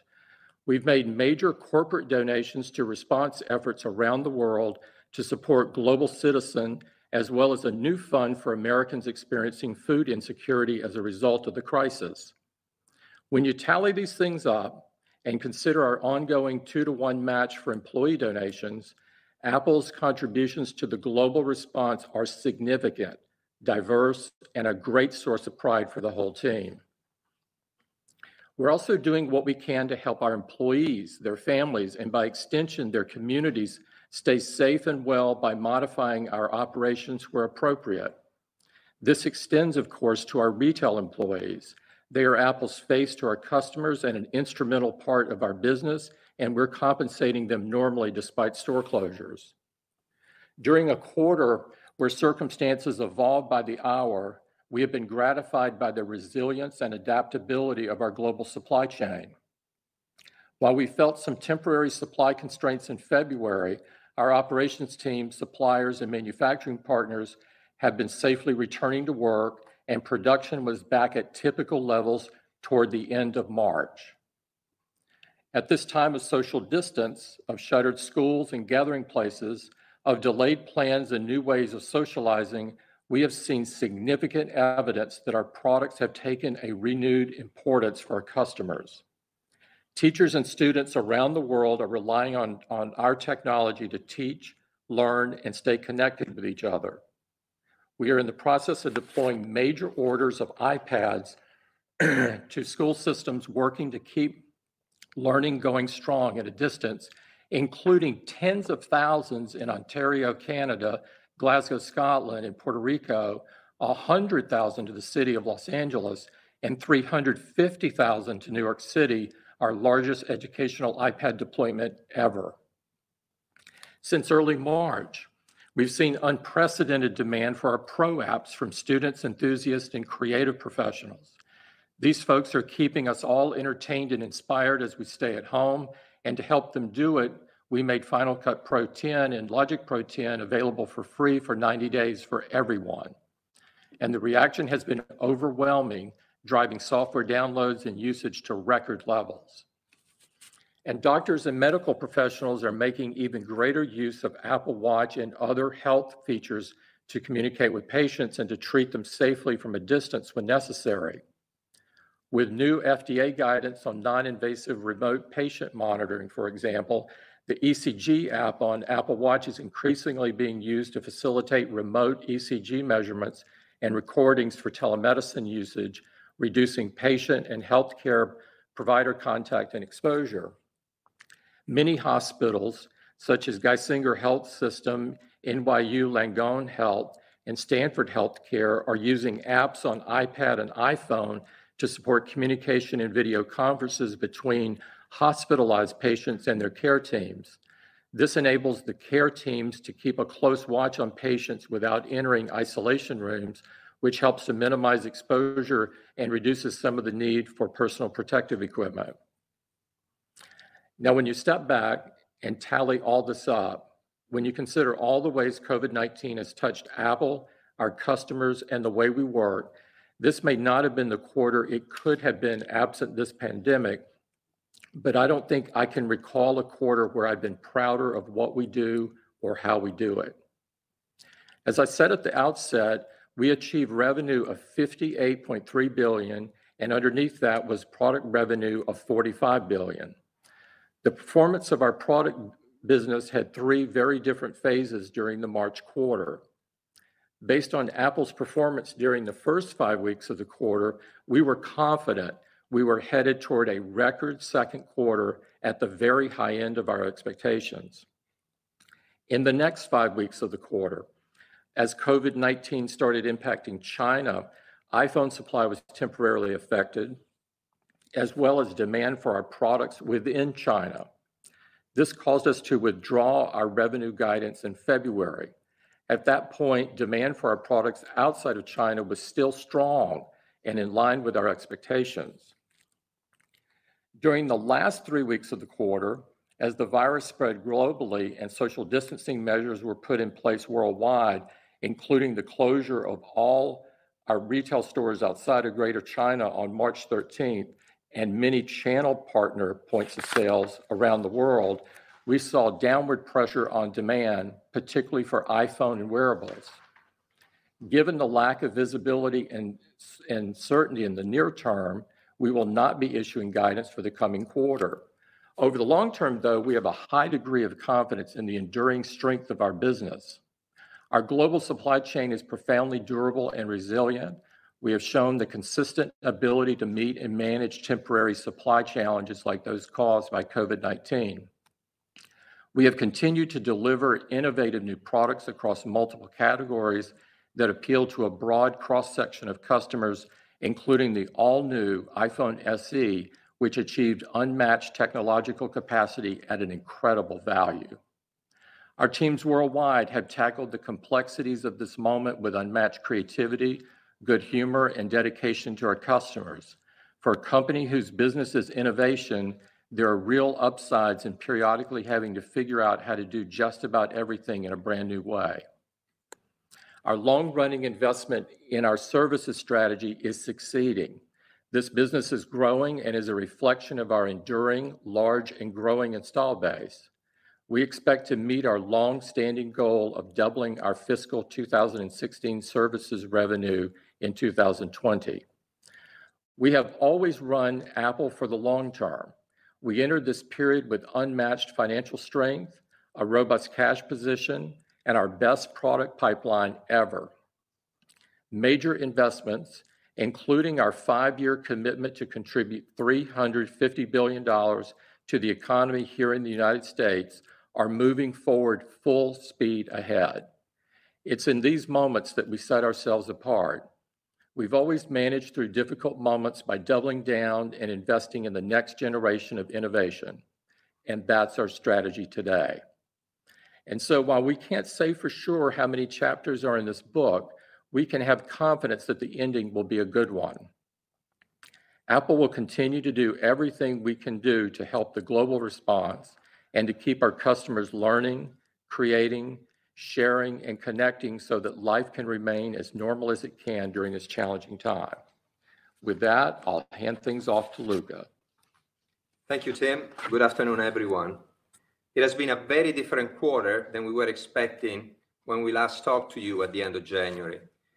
But we could not be more proud of our Apple teams around the world, our role in supporting local communities and our partners throughout the value chain, and how resilient our business and financial performance has been. Dave. during these challenging times. So the revenue for the quarter was $58. Uh, yeah, I don't need to hear him talking about the numbers, but uh, that's kind of a little. He's basically going to read to us the numbers that we've already seen and we've already been talking about revenue. Yeah, here's my concern, okay? And it's not like a huge concern long term, but a short-term concern. Our data was really strong, as you know, when it came to MacBooks and, and iPads. iPads. iPads. Not necessarily all that strong when it came to iPhone, of course. um, or wearables, like he's saying. So it, everything he's yep. saying kind of lines up with the data we've been tracking. Uh, it is somewhat of a concern. It sounds like we're going to have a fairly weak quarter here. And I think the market's going to pick up on that, honestly.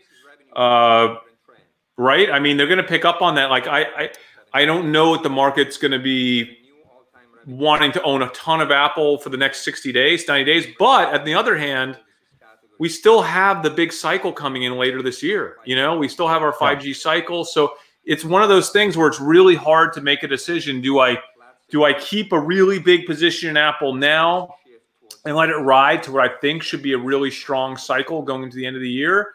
Or, you know, lay off a little bit right now? Like, what do you think? Well, for me, Apple is a company that is going to have revenue slow down. They've they've said that it has already slowed down. They've pulled their guidance for next quarter. They're not.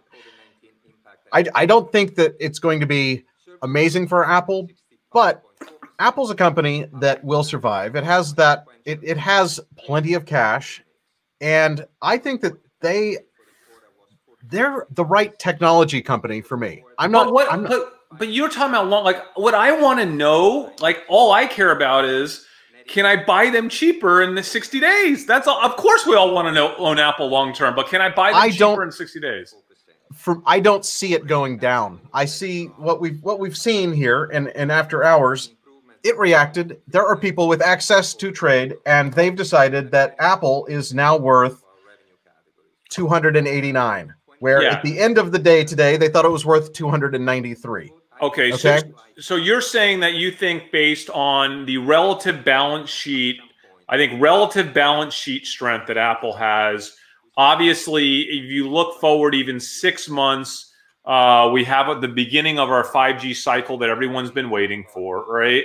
Um, Yes. So relative to the rest of the market, uh, it seems fairly valued. Honestly, I'm not like super excited to have Apple here right now, but I have money to be invested in. I think they're, you know, whatever. I'm not excited about. It. That's all I'm saying. It's fine. I'll be in Apple here for the 5G cycle, but it's I'm I'm not going to even think about Apple for the next five months because I just And I think care. that's actually probably good advice because I don't think that Apple is going to do anything remarkable. I don't think it's going down. If I thought it was going down, I would definitely sell it so that I could buy it cheaper. well, I is there any if you run I think there- scenarios? there could be a temporary time that it, that it. There's Look, gonna here's be the deal. some I mean, volatility. I own Apple. You know, all of my Apple I own under two hundred dollars. So there's no way I'm going to sell any of that stuff. But I wouldn't mind seeing a little pullback here if we get down below two fifty. Jordan, when you I might, say I might pile more back in. when you say that, I'm assuming you're only making that comment because you know better because of taxes. Is that right? Not Because necessarily. No, I want. I want to be an Apple long term. no, no, no. Well, The the fact that you just mentioned that you were in it under two, it doesn't matter if you bought Apple at five dollars or if you bought it at two eighty. That you have no Apple right now. You have zero Apple share. Taxes aside, you know that you have zero Apple. Are you putting cash into Apple right? If you stay in Apple tomorrow, it means that you're putting new cash in right now at two ninety. Yeah, Whatever so it the, it's the tax thing, right? I'm not gonna. I'm not gonna sell All right, right. now. And uh, but would I go? What, am I gonna go rush out and spend 288 bucks a share tomorrow? I'm not gonna do that. Oh, but so it's it's a tax decision for you. It's a tax decision. Yeah. okay. Hey, taxes aside, because I think most of the shares that I have in Apple are over a year old, so it's Yeah. it's kind of irrelevant. Um, I like Apple. I might actually buy more if I if I am I just looking at my portfolio. Like, there's things that I would get rid of that I like Apple better than, and I think even at this price, two ninety three. I pulled up a, a longer term chart. Apple is a solid company. Apple will be selling a ton of iPhones. Apple will benefit from 5G. Apple does have the iPad sales that I think are going to just continue to be phenomenal because that iPad Pro with the keyboard that you just got, Chris, and that I have ordered because I nice. I ordered so I ordered I ordered the iPad mini and it was too small. I ordered the iPad regular. It was eh, not it didn't have the cool keyboard. So Yeah. I'm I'm now buying my third iPad in the nice. past Nice. year. Hey, hey, listen, here's the thing. I will not invest. Everyone knows this. I will not invest in anything unless I think there is some edge in that investment.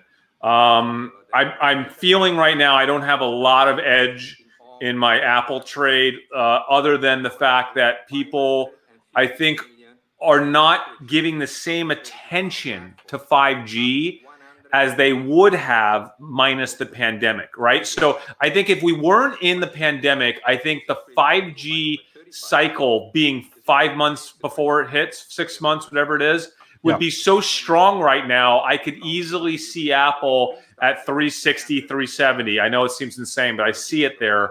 Um, so I'm going to probably keep most of my Apple, maybe not all of it, I'm going to keep most of my Apple. You're contradicting uh, yourself. You you say you only invest in things where you have an edge, and you don't have an edge in Apple, so you should I sell just, Apple. I just, I just feel like Apple, to you. My I edge just, is that Apple's better than the other companies. No, I just told you the edge. The edge.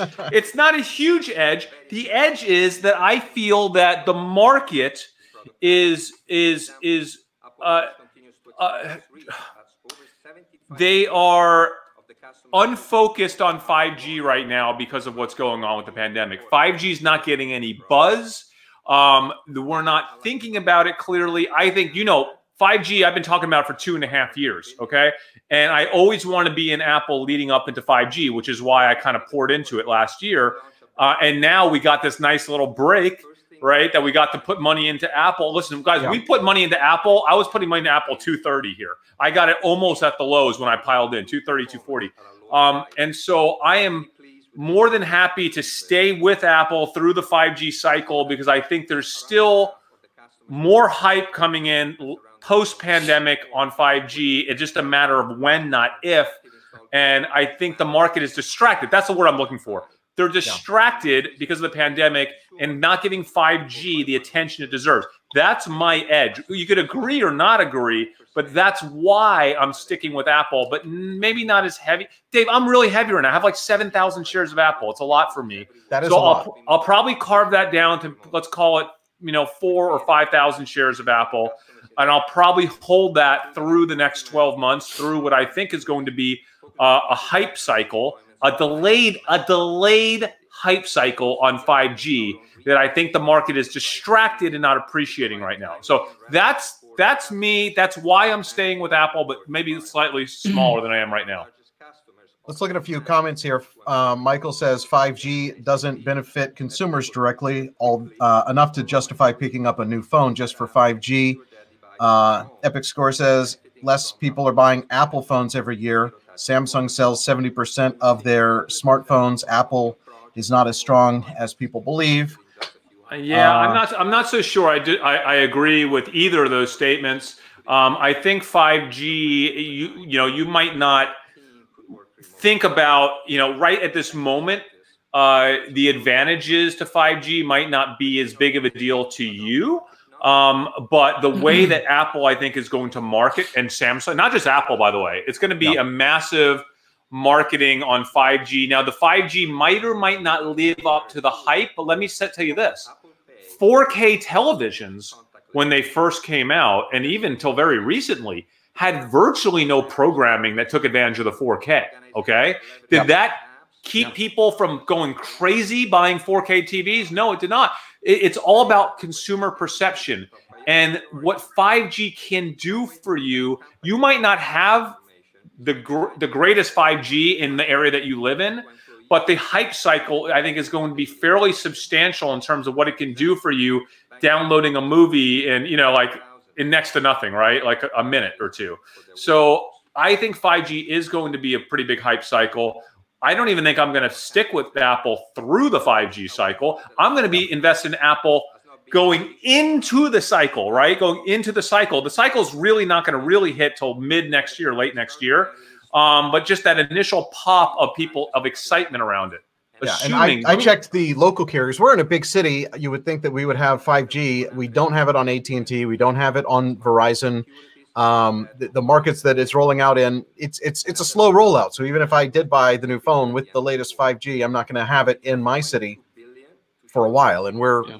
you know, in the top 10 as far as uh, number yeah. of people in a concentrated area. Let me tell you how excited I am about 5G. I don't even own a 4K TV yet.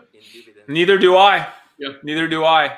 Um, but I will get, I will probably, I get, I get a new iPhone every year, so I'm, a, I'm a bad example. I'm obviously getting a new iPhone, but I, will end up breaking my phone and then I'll get a 5G phone just because that's what it comes with. But that's the only reason I'll get it.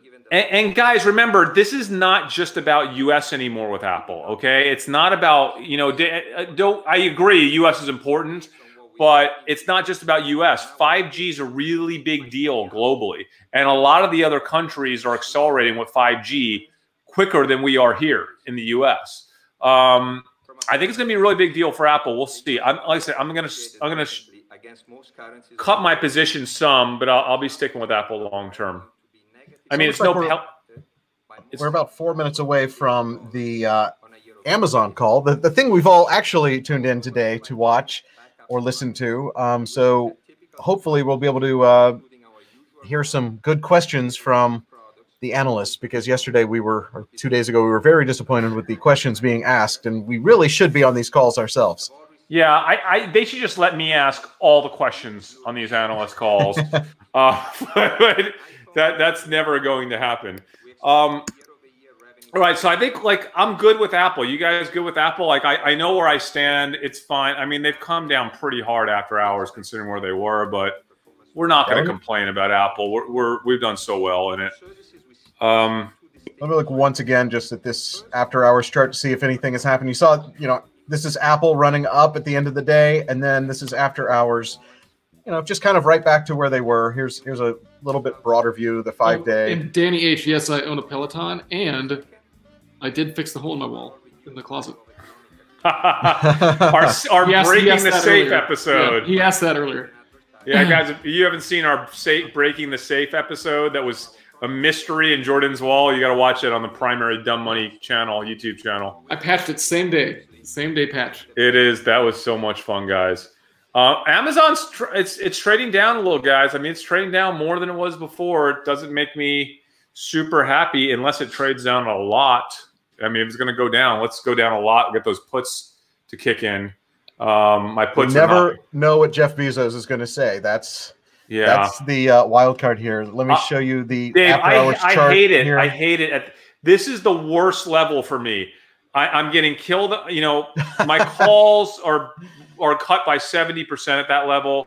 My puts are virtually worthless at that level. It's a bad level. That's a that level is minus a hundred thousand dollars for me. Ouch. I, I need it to go up or down, up or down from that level. So let's hope something happens on this call.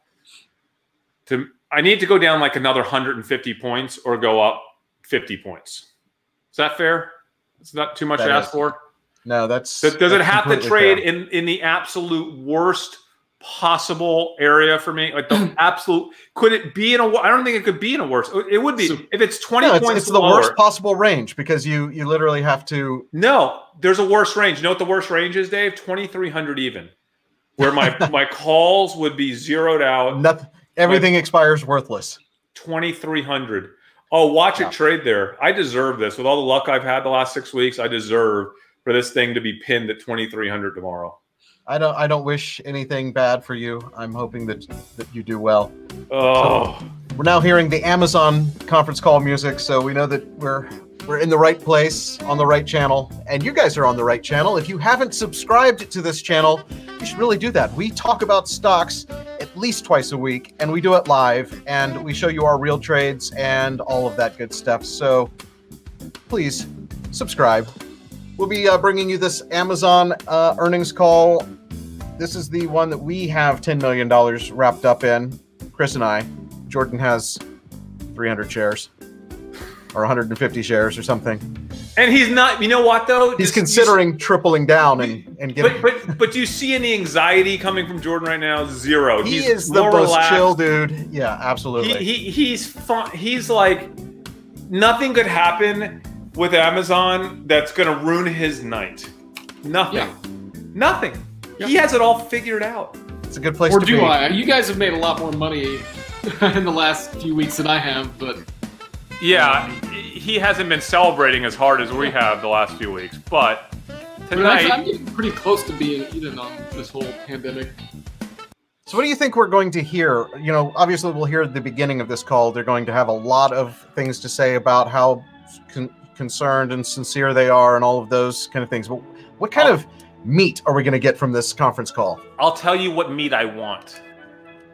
I want Bezos to kind of tell us, yes, he's going to do spend four billion, but hint, hint, Thank we're killing it. I wanted to like be like, you know what I'm saying? Like hint for the future. Like I just want him to give that little like between the lines, right? Yeah, I want that. Time, all participants are in a listen-only oh. mode. After the presentation, we will conduct a question and an, an answer. And session. I also want him to hint being recorded that he's sandbagging next quarter. That's what I want. That's all I want to hear. That's all so I want. We are we are holding back because we know we have to. Yeah. Yeah. So so guys, Hello, all I'm looking for is that they're sandbagging. That's it. Financial results conference call. Joining us today to answer your questions are Brian Olsavsky, our CFO, and Dave Fildes, Director of Investor Relations. As you listen to today's conference call, we encourage you to have today. our press release in front of you, what? which includes our financial it's not, it's not abnormal, as well as metrics and commentary on the quarter. I was just Please thinking. I thought he would today, though. Stated, I did too. All comparisons in this call will be. It's kind of like you know, Steve Jobs used to do that. He would kind of come on every once in a while, yeah, and just, something. just for important ones. Yeah. To your questions, reflect management's views as of today, April 30th, 2020 only, and will include forward-looking statements. Actual results may differ materially. Additional information about factors that could potentially impact our financial results is included in today's press release and our filings with the SEC, including our most recent annual report on Form 10-K and subsequent filings. During this call, we may discuss certain non-GAAP financial measures.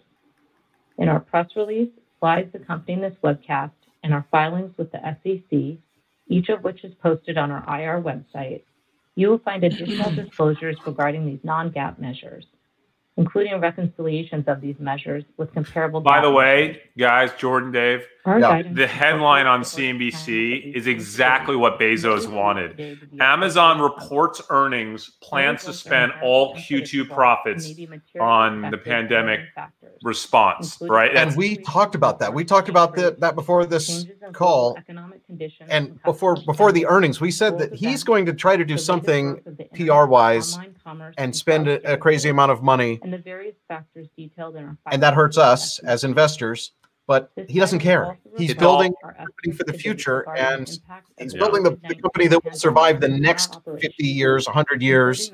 But it's all political too, because he's not spending that money on the pandemic. It's not what he's spending the money on. I'm sorry, it's not. No, he's Some spending it, it towards efforts that will be affected by the pandemic. Jordan, how do you spend four billion dollars on sanitation? And you know, I get there's higher salaries in the hundreds of millions for the quarter, not in the billions. Those latex gloves are pretty expensive.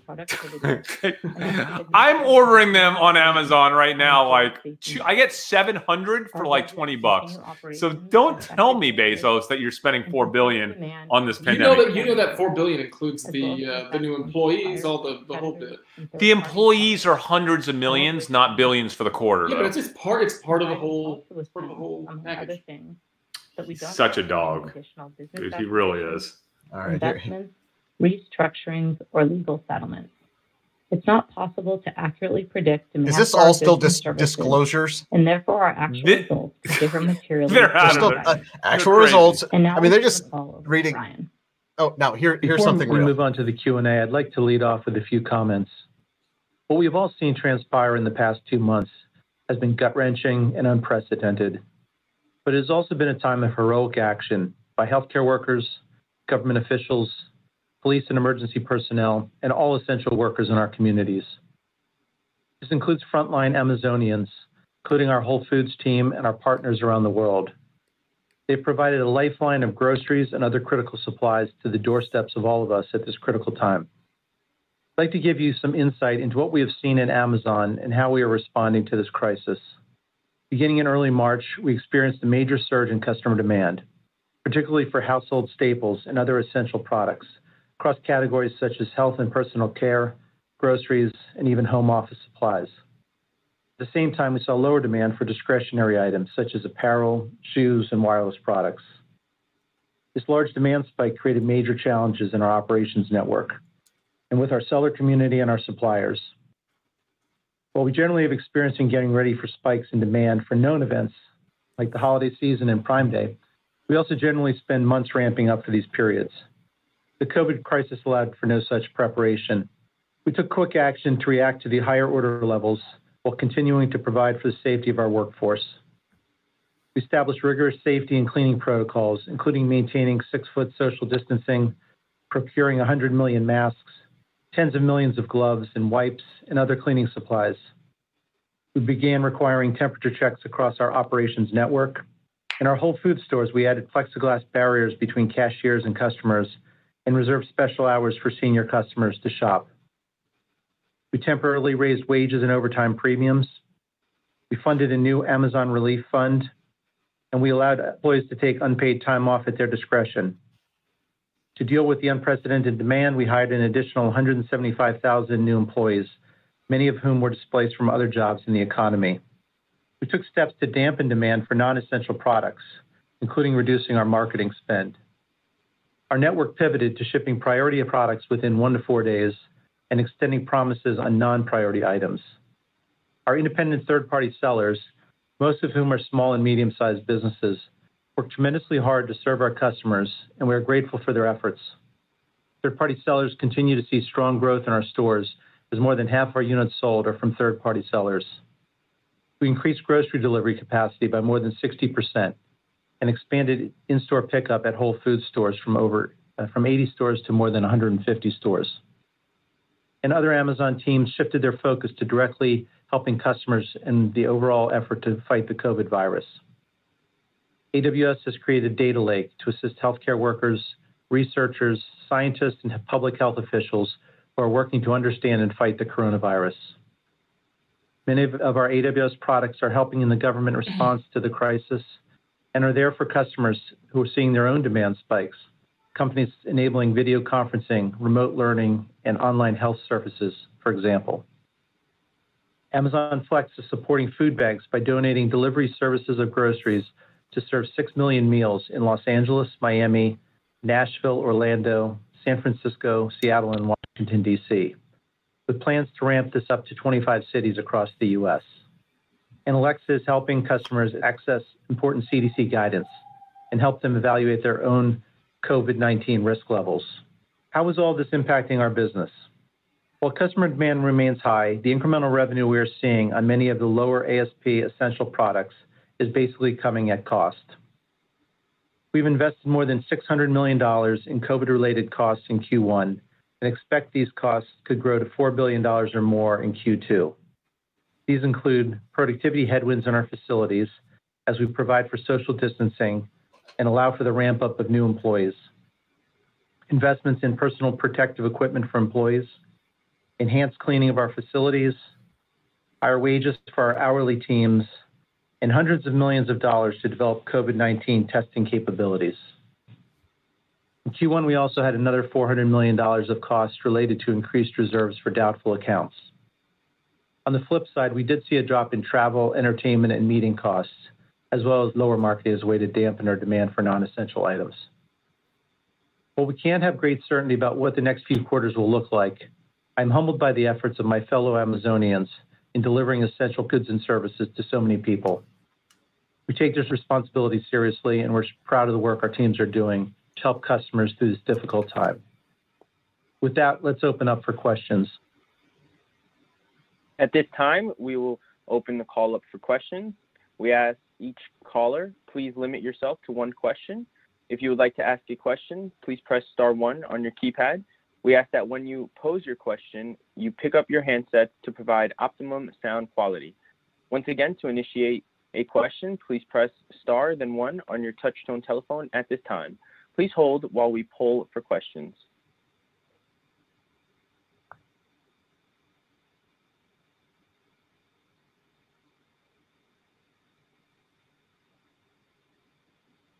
Dead air.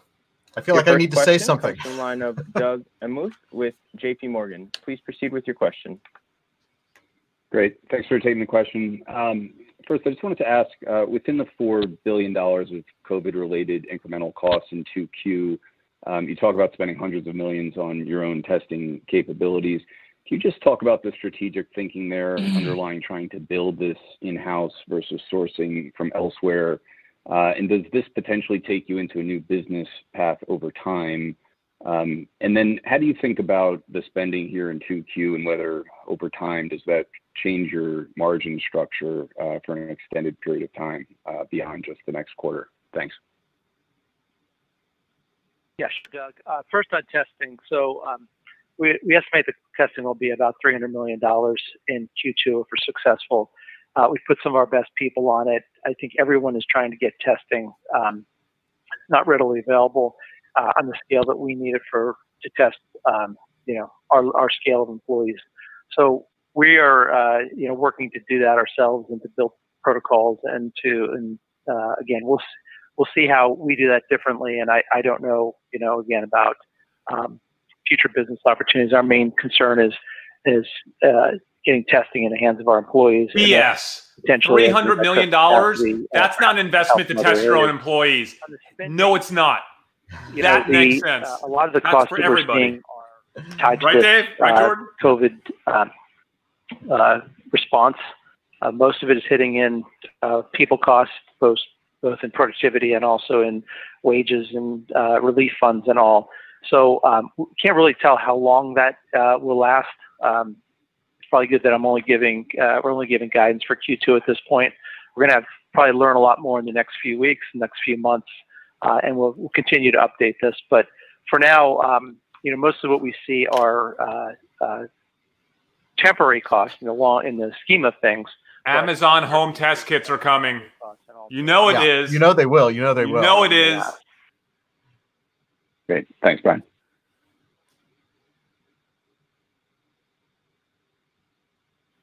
I actually think Amazon home test kits would be great, right? Oh yeah, they're not spending three hundred million dollars to test their own employees. That's in anyone to buy that would be insanity. No, but if they have the capacity to test their employees, they probably could just ramp that up and test yeah. the entire world. Network to uh-huh. provide goods for people and the the value of of Prime and, and Amazon to customers. So I guess in light of that, you talk to us at all about the impact you've seen on the the Prime customer account from the current situation? We Any color about. on how you've been able to expand Prime's reach into new customers or demographics from this?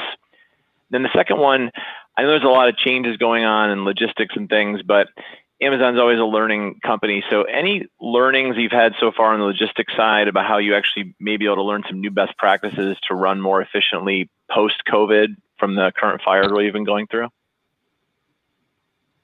Well, I think we've learned that um, it's easier to get ready for a holiday or for a prime day than it is to get ready for something like this when everything hits at once. Um, high demand and then also a need to restock automatically and not prepare for it. So that's not uh, something that we want to keep learning, but uh, we're doing our best to to um, you know maintain and and uh, you know provide key services for uh, and essential items for our Prime customers and all and all our Amazon customers. Um, on the uh, uh, Prime, uh, uh, excuse me, Prime program, um, you know, what we're seeing is again, uh, we're seeing a lot of pickup in uh, Prime shopping benefits. We see our Prime customers are shopping more often and they have larger ba basket sizes. We're also seeing a lot uh, more use of our video benefits and our um, digital benefits. So in March, the first-time viewers nearly doubled, um, which is, uh, I think, a good, a good, time for people to, to uh, when when they're a lot of them are uh, staying at home to uh, stay entertained and and um, you know see our video collection. It's it's also beyond uh, kind of Prime Video. It's also our channels and and um, video rentals also went up, as I'm sure uh, others in the entertainment business saw that as well. Um, I think people are finding more benefit from Alexa when they're at home. They're listening to more music, asking questions, particularly questions related to COVID and issues. Um, uh, you know, around it. They're uh, using it in education with their children. Um, and, you know, I think we're seeing a lot more on the communication side, using people using uh, Alexa calling and dropping. Answer the question. So I think the, uh, yeah. the how many story is that, you know, shopping is, um, you know, more, uh, really important for people now, especially when they, uh, those people can't leave their houses. I think the digital benefits are. He's describing what Prime is, and not the question of how many. So dirty. What was the impact on Prime membership? Was the specific question. Using to use, you know, all of their Prime benefits that maybe they hadn't used as much in the past. He didn't answer it. Nothing. No Okay, answer at good. all. Why don't you follow up with a? Could you tell me what it did to Prime The next membership? question comes from the line of Mark Mahaney. Wow, with we'll get that question Please again, proceed I'm with your question. Thanks, too, please. Uh, First, could you talk about where you are in terms of um, fulfillment efficiencies? I- The way you track it, you know, uh, pre-COVID, Amazon was able to, you know, uh, had some sort of level of standard of meeting um, uh, demand with, you know, within a certain period of time. How low that got, given the surge in demand, and where you are in terms of the recovery. In other words, when are you going to be? Uh, when will? How long will it take for Amazon to get back to a point where you'd have the same sort of um, service efficiency levels that you on the retail side that you had pre-COVID. How far are you away from that? And then the second one is, could you talk about the AWS business? And um, I guess I would have expected maybe uh, the, growth rate's really robust, but maybe even a kick up in the growth rate. Is uh, what are you seeing there in terms of? I assume there's much greater usage of AWS now. Is that something that would show up in the P&L maybe on a delayed basis? Um, just talk about what, what what's happening to that side of the business in this crisis. Thank you. Uh, Sure. Well, um, you know, we're happy with the growth in in Q1 um, on such a large base. Again, we're uh, now it's a $41 billion run rate, um, and that's grown 33% year-over-year. But what we're seeing kind of post-COVID is um, it varies by industry. I think we we think um, what uh, is probably where we're uh, a bit well positioned is that we have such a breadth of customers. You know, there's millions of active customers from startups, enterprises, the public sector. So there's a lot of um, variance in, uh, again, in uh, what individual industries are seeing right now. Things like uh, video conferencing, gaming, remote learning, entertainment, all are seeing you know, much higher growth um, and uh, usage. And things like hospitality and travel certainly have contracted uh, very severely, very quickly. So I think there's going to be a mixed bag on on industries, and of course, this is uh, will, would be tied to the general economic conditions for the country and the world, quite frankly. So um, right now, we're we're we want to be there for our customers. We want to be able to scale up when they need us. Um, we want to be there to support them regionally around the world, and uh, you know we've been doing a good job with that, I believe. On the uh, fulfillment efficiency, I think you're Didn't talking about one question. day. Probably is the heart of your question. When will we get back to No. what we had seen in uh, levels of one day? So a little bit on that. So again, as I mentioned in my introductory comments, we had to uh, to to kind of absorb this uh, shock of uh, top line demand and also um, ability to uh, stabilize our operations. But we had to take the step to uh, focus on essential items, extend the, sh- the shipping uh, period from one to four days, and then uh, further on uh, non-essential items. I had to restrict things that were coming into the warehouses and focus on essential products. So we think that is still the was the right course of action. And um, as we add capacity, we're trying to uh, resume more normal operations as far as uh, the shipping of non-essential items and the speeding up of of uh, one-day shipments. Um, I will explain, you know, a bit on the one-day shipping costs because it's it's aligned with this. So we had originally thought we would uh, spend a billion dollars uh, roughly on one-day shipping in Q1, and what we're seeing is um, we pretty much spent about that same amount because it's uh, in the in the old days we would have perhaps um, you know had the option to ship things you know two day, three day, four day, and and seen a uh, break on rates for the actual shipment. But most of our one day costs are really what we've done to our logistics networks networks to allow for one day shipping. Things like putting inventory closer to the customer. Things like um, uh, building up our AMZL uh, network and delivery uh, network, and also having multiple pull times and uh, shipping windows during the day. So those are actually coming in. All those things are coming in uh, very handy to us to help get more capacity out of what we currently have, and we're glad we've made that investment. But we don't actually see a savings um, because we're still shipping things once they're available very quickly to customers. So it's really a combination of how long it takes to get things in stock, picked, packed, and shipped. Uh, the shipping is still pretty fast and is uh, you know still coming quickly. It's just it's taking longer to get things uh, into our warehouse and out of our warehouse. So that's really the challenge right now is to speed that up, and um, uh, that will when we do that, we'll see a resumption of more one-day service. But uh, right now, you know, things are still so up in the air that I can't really project when that day will be, or uh, you know, what point in Q2 or Q3 or beyond. Okay, thank you, Brian. Your next question comes from the line of Heath Terry with Goldman Sachs. Please proceed with your question. Great, thanks. Um, I did want to dig just a little bit deeper into into your comments on on AWS.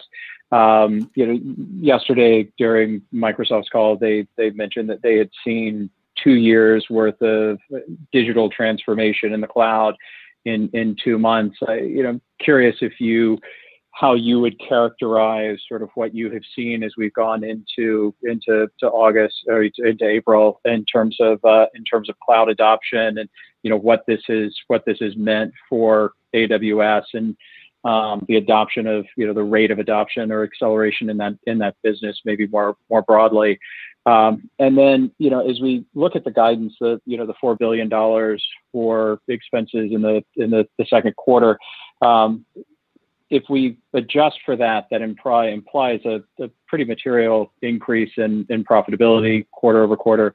Um, any sense of, or any sense that you can sort of share with us of just what the drivers behind that profitability is? How much of that is is annualizing the one day investments and the efficiencies that you're seeing there, um, versus anything else in particular that you would uh, that you would call out?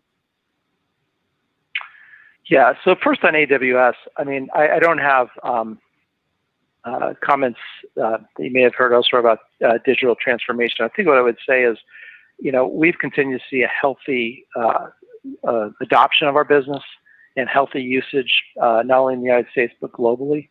Um, you know, our backlog of of um, you know future contracts continues to build. Um, and you know, I, I, still think the basic value proposition of AWS um, that you know we've always pointed to things like having the you know largest, uh, most functionality, largest and most vibrant community of customers and partners.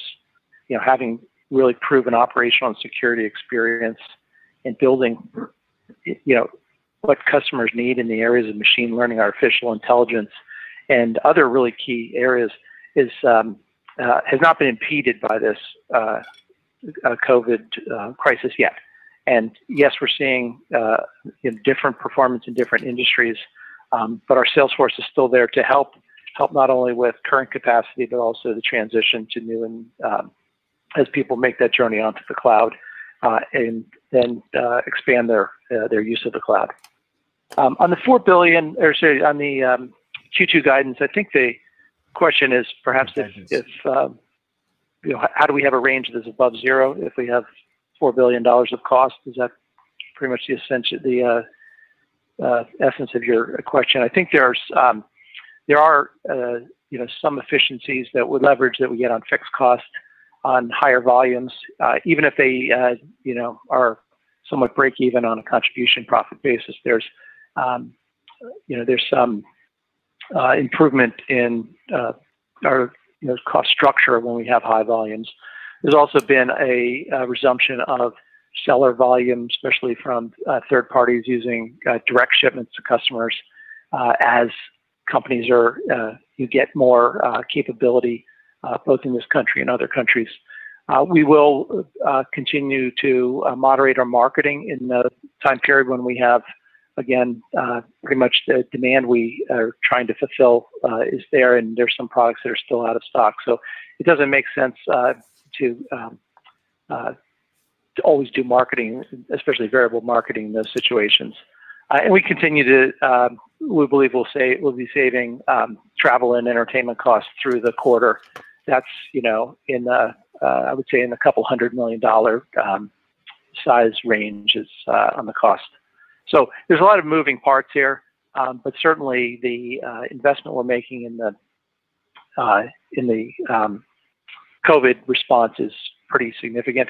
On the one day, uh, I would remind you that the one day started. Uh, so that, that was almost an answer for the first year. time. How they expect to have more money than the four billion, spend four billion, make four billion, and still come out ahead. Efficiency. Um, and then the other thing that I would just point out uh, is the I remember the impact of our uh, change in the useful life of our servers, mostly hitting in the AWS business. That was a uh, $800 million benefit year over year in Q1, and that will continue into uh, the rest of the year. Um, and that that again is the uh, benefit we're seeing from being able to uh, use our, our uh, server and infrastructure assets for a longer time period. We've been working on the ability to uh, run them longer, and you know it's a both a hardware and a software challenge. Um, and as we have uh, had success there, uh, operating at scale for over 13 years now, we've been able to extend our useful life for assets, or recognize that we have been extending the life. So that that's a benefit that we've seen in Q1, and we'll see in the remaining from here on out. Yeah, excuse me. Just to add to that too, it's, I think it's about eight hundred million dollars, or nearly eight hundred million dollars benefit in the first quarter. We do expect the change to, to decrease as the year progresses. Um, um, but keep that in mind. Right. Thank you, Brian. Our next question comes from line of Eric Sheridan with UBS. Please proceed with your question. Thanks so much uh, for taking the questions. Maybe two, if I can. One on the demand or the revenue side. Any difference in behavior you saw in various shelter-in-place geographies across the world, whether it be Europe versus the U.S. or Asia and the U.S. or India in terms of consumer behavior or certain elements of uh, adoption of certain product categories as we went through the, the month of March? Be curious for what differences you saw on a global scale, including on Prime adoption uh, in response to COVID-19. And one quick one on the cost side of the equation, the, um, the, the cost of energy and oil have come down dramatically. Wanted to know if there was any way you would be able Hey, to Dave, call that out. Yeah. All right, I'm going to go here in a minute. This is uh, he's essentially avoiding every question. I get it. He's not going to release. You know, that that's the problem with being in a company uh, that's run by someone like Tim Cook, uh, not Tim Cook, excuse me, like like Steve Jobs back in the day or Bezos. Here, you literally he's like stuttering. He's he can't he can't really say anything, and it's so. I now remember why I hate Amazon conference calls because Yeah, they- he's they'll got a script. nothing. He's got a script of things that he's allowed to talk about. Literally he's not allowed to talk give about. you the CFO nothing. is is is trained to not give any answers. It, it, it- it's a joke. I really thought Bezos was going to be on the call today. So do you know Um, what we're going to have to do? The next, we're just going to have to wait three months, and we're going to cover the next Elon Musk call because you heard what happened last night on that call. Yeah, yeah. He was ranting about how the lockdowns are fascist and dropping f bombs, and that is entertaining YouTube right there. Oh So- man, he he is he's just he wheels off the last 24 hours on, on Twitter. Okay, here's the thing, guys. Uh, after hearing this, and after kind of I'm listen, I am absolutely deflated on Amazon right now. Uh, I am going to obviously unwind my options tomorrow. I'm going to pull back on 1,000 of my shares tomorrow. I'm going to go. I'm going to go back to a 1,000 share position in Amazon because I just Amazon's actually been like ticking up during this call. that uh, I that I have no idea why. that yeah I, I'm shocked. I, I don't know why either. Honestly, like I tried to short a thousand shares, but it my Ameritrade won't let me to get into what's called the boxed position. Yeah, the box reason short. why I didn't want to sell a thousand shares is because I need to figure out how to sell. And I know there's a way to do this, but I haven't done this in a long time. I want to sell the, the most recent thousand shares I bought, Right. not my original thousand Does shares that I bought. You can Oh, show it yeah, the, dude. No, no, no. But you can show it the correct way on your taxes, right? I'm not so sure. I think you have to unwind that then later on because they're going to make those. They're going to report it to the IRS the way that it's set in the account, which is Yeah, right the- now it's on the- automated in the account, like Uh, okay. efficient. It's it's That set for efficiency. automation. Yeah. Yeah, and, and what it's going to do is when it sees that, it's going to be like, okay, he, this guy has a gain on both of them. Let's sell the ones that would be at the lower tax bracket, which is the Amazon I've had since like 300 bucks a share. yeah. I would freak out if I had to pay taxes on two thousand, uh, you know, two million dollars of Right. ta- that, that would literally that would be I- insane. So I need to figure out how to do that in the morning. I'm probably Mm. going to unwind 1,000 shares of my Amazon only because I listen. I love it here at 2,400. I'm happy to get out of those shares at 2,400. It's been like a $700,000 run for me. Um, I'm happy. I got in those shares at amounts. I think I got them in. Jordan, you am I might not get them at 1,500. I don't know. It was way low. It was. It might be a $900,000 move for me over the past three, four weeks, four weeks. So I'm, I'm going to take. I'm going to sell those. Um, because I just I don't know. If I don't, let me put it this way, I'll buy puts to protect half that position between now and the let's call it the next earnings call. I might do that Yeah. instead. I might just buy some 90 day puts just to protect it for the next 90 days. It's too Um, bad you couldn't do that short sale because that that would be the easiest and least cost way of protecting your uh, your account. and I might be. Well, I'm going to call in tomorrow. They might allow me to do it with an as an exception. So I'm going to figure out how to do that in the morning. I just don't love. Uh, listen, I don't love. I, I heard nothing that I love, and I I don't like unless they're sandbagging, and I think they are.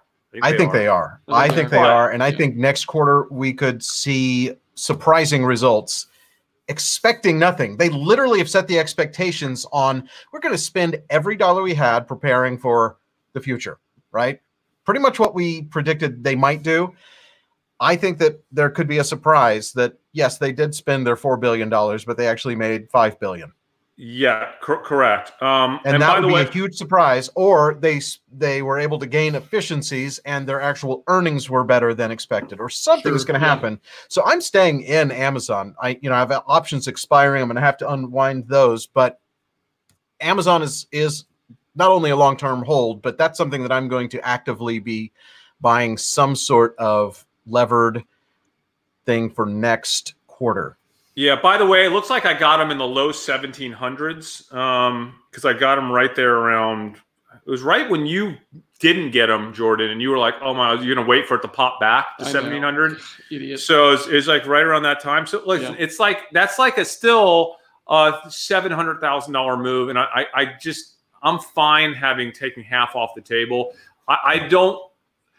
It's I don't have nothing against Amazon here, but I feel that my edge right now is removed. So I keep that thousand share because I think the long term vision. I don't think people appreciate the long term vision as much as we do on Amazon. But short and I think that some of that four billion dollars is going to be building things that are going to benefit Amazon for the long term, right? Of course it will. Of course that it is- will.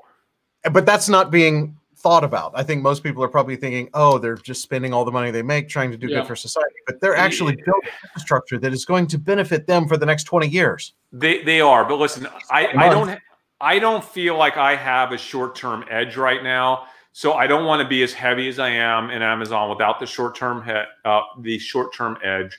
I do like the edge. I think I might have in Peloton. I think Peloton investors are not fully appreciating the um, uh, the the the lack of marketing costs this quarter with them Yeah. reducing their marketing that we've noticed. Yeah. Um, I don't think they're fully appreciating what I think is going to happen, which is I think Peloton is going to sell every bike they can sell for the rest of the year. I don't think this is a one quarter pop. I don't think this is a two quarter pop.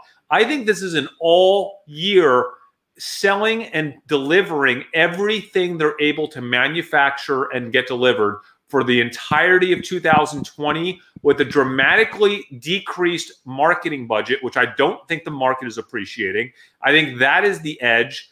Um, I like my Peloton position. I'll probably maybe go a little heavier on that position tomorrow once I kind of remove some chips off the table on Apple and Amazon.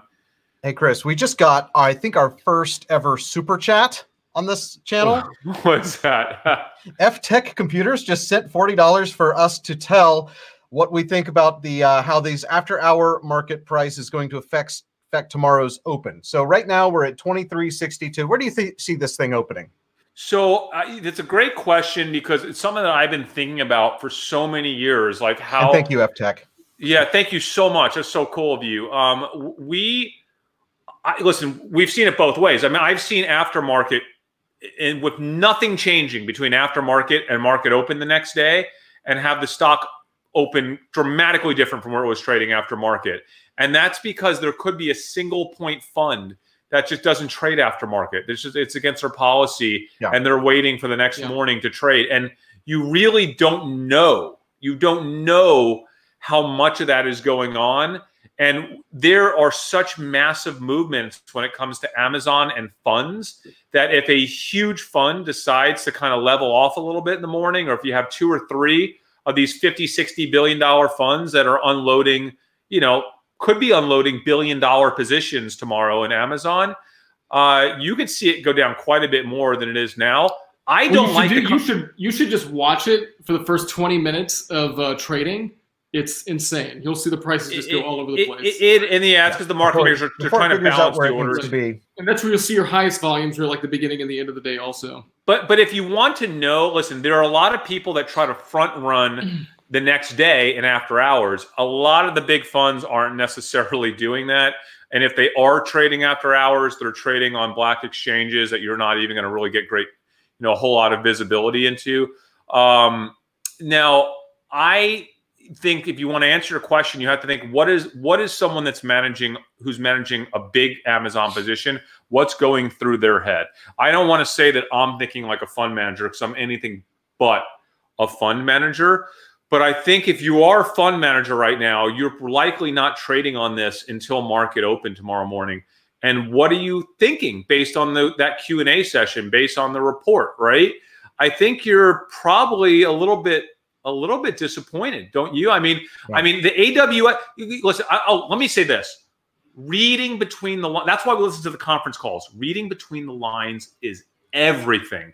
It they will make their decisions not based on the data that was released, but a good buy side manager is going to make their decisions based on reading between the lines. What were they avoiding? What I heard in that call is that he really was kind of avoiding the AWS. Didn't you hear that?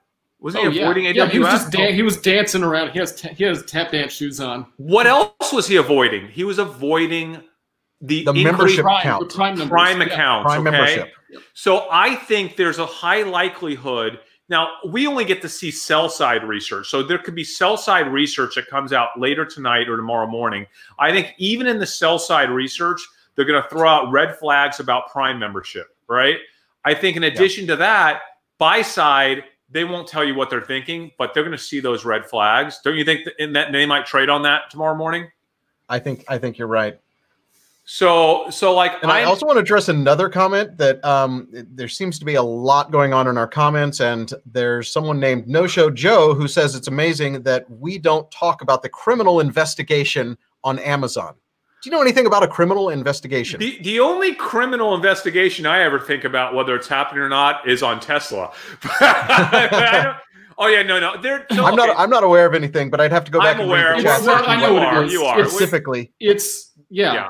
It's Go ahead, the- Jordan, it's you can the- talk about. Yeah, it's the deal where they're using uh, um, uh, like internal metrics to basically pump their own products, right? And so that's a conflict of interest Oh. that could, you know, be some sort of uh, there could be an investigation. I think there was a senator or a, a House rep that mentioned something on Twitter that they. I do. I I, do remember hearing this in the news investigation? now. Yeah, and and now they evidently have people who said claimed on the record that they didn't do this, but they actually do it. And I will tell you, I think they do it. And and listen, Sure. I love Amazon, but I don't like what they do when it comes to this stuff. I think it's ridiculous. I think it's horrific that They, they, have, have, these Amazon Basics products that they can. Uh, dude. yeah. They have access to everyone's data, and there there's no Chinese wall to separate that Mhm. from the, the the group. I don't believe. I don't buy it. If even they say, I don't believe they have that set up at Amazon, and I think it's a huge problem. I really think it's a problem for Amazon.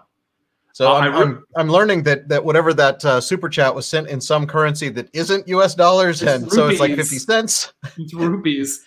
But uh, That's fine. that's Anyway, pretty funny. But but it looks was a like good someone else question sent a five dollar one. So uh, Five dollar super chat. Don't send don't- any more, guys. I got to I got to go in a second. I got I got to get dinner for the family. But um, uh, what what do they ask? It's uh Pedro says uh, he's been wearing his Cruiser's Gonna Cruise shirt every day for the Dumb Money live streams. Thank you so much. That is awesome. I, Hey. I need to. I wore mine once. I know you wore yours once, Yeah. Chris. He says y'all are the best. y'all, uh, are you increasing your short position with the SPY close to 300? No, no, no. I, I have. We have basically stopped putting hedges on our total portfolio. We're now in kind of this kind of neutral position where we are long the stock market.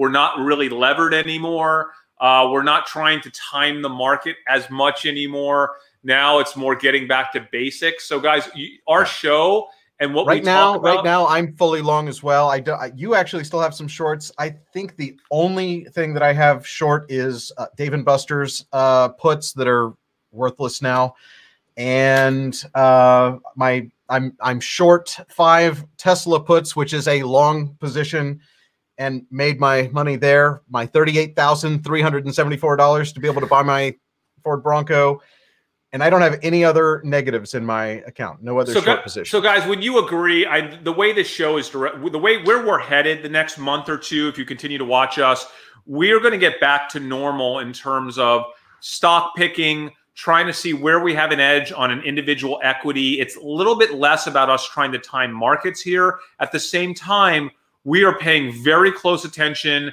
to hospitalization rates. We're closely looking for a second wave. if a second wave pops anywhere in the country, we will immediately get back into our kind of you know hedged uh, SPY positions, trying to sh- you know trying to short our portfolio, trying just like we did the first time around in late February Yep. when we were a little bit early on all this, but fortunately, better a little early than a little late with how quickly the market moved.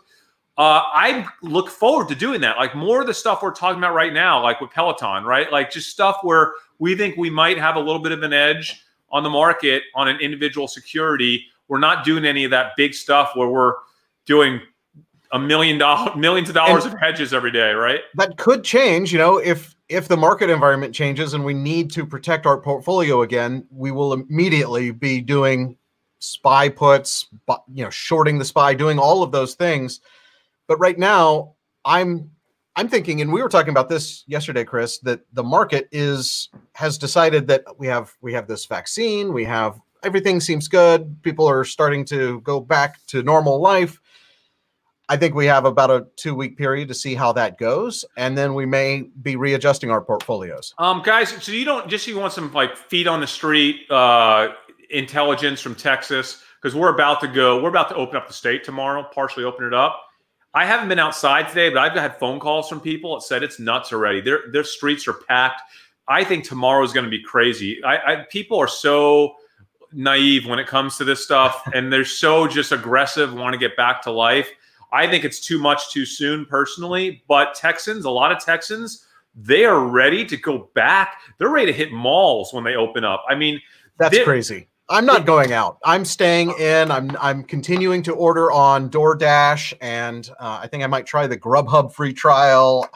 Me too. Listen, me too. I think Jordan's in the same boat, right, Jordan? But like, yeah, I mean, we've got we've got a we've got a hey, there she is. We've got a daughter that uh that's kind of um, susceptible to all this stuff, so we're we're hanging pretty tight. We we we both do. But would you agree? Everything I'm hearing is people are about to go nuts here in Texas. And by the way, that temporarily is really good for the stock market temporarily, right? Now, if we get a second wave of pandemic, mm. it's horrific and you will see us on air every day if that happens. We'll be talking you through every move we made just like we did the first time. We were so ahead of this, guys. We will be ahead of it again if it dem- if, if it demands us taking those positions, and we're watching it closely. But until we see that, I think we might be in for a few weeks of, ah, you know, people getting back to life. You're going to see crowds on TV. If you're not in Texas, you'll see it on You're the news. But you And- saw the crowded beaches, and you and you saw that they're now closing down beaches and state parks again because it got out of control in California.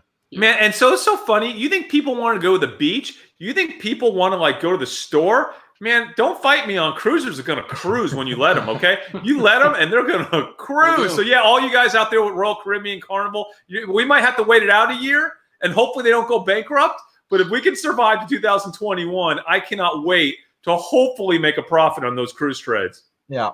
Well, La La La thinks that I shouldn't buy a Bronco, Bronco, that I should just buy a Tesla. So I might have to do another Tesla trade to get enough money to be able to afford. Because I think I would want the uh, the Model X, the one with the uh, the DeLorean gold- style yeah, wings. that's what I would do. Or I, I don't think I can wait until it. You know, I don't think it's ever going to be made. But the Cybertruck, I would I would totally drive a Cybertruck. Terrible. Um, guys, that's that's a polarizing position. I'm gonna battery end this call because I have a low battery with four percent left. And by the way, if you haven't subscribed, please subscribe. We're not financial advisors. Don't take this as advice. We're just just for education and entertainment. Your risk factor is your risk is different from our risk, guys. Literally, don't take our advice. This is about learning how we think. And by the way, we didn't think that great on either of these two trades. I mean, I was technically wrong on Google, technically wrong today on Amazon, and that's fine. Uh, like it's fine. We're learning as we go. It's been the best six weeks in 32 years. We've made collectively, uh, I think, seven or eight million dollars in the past uh, six, seven weeks on this show. You could have watched the whole thing from the very beginning if you were watching. Um, literally, accounts up eight, almost 80%, 75% since February 20th. Um, it's been a hell of a ride, but this is a little little bump in the road today with Amazon. That's okay.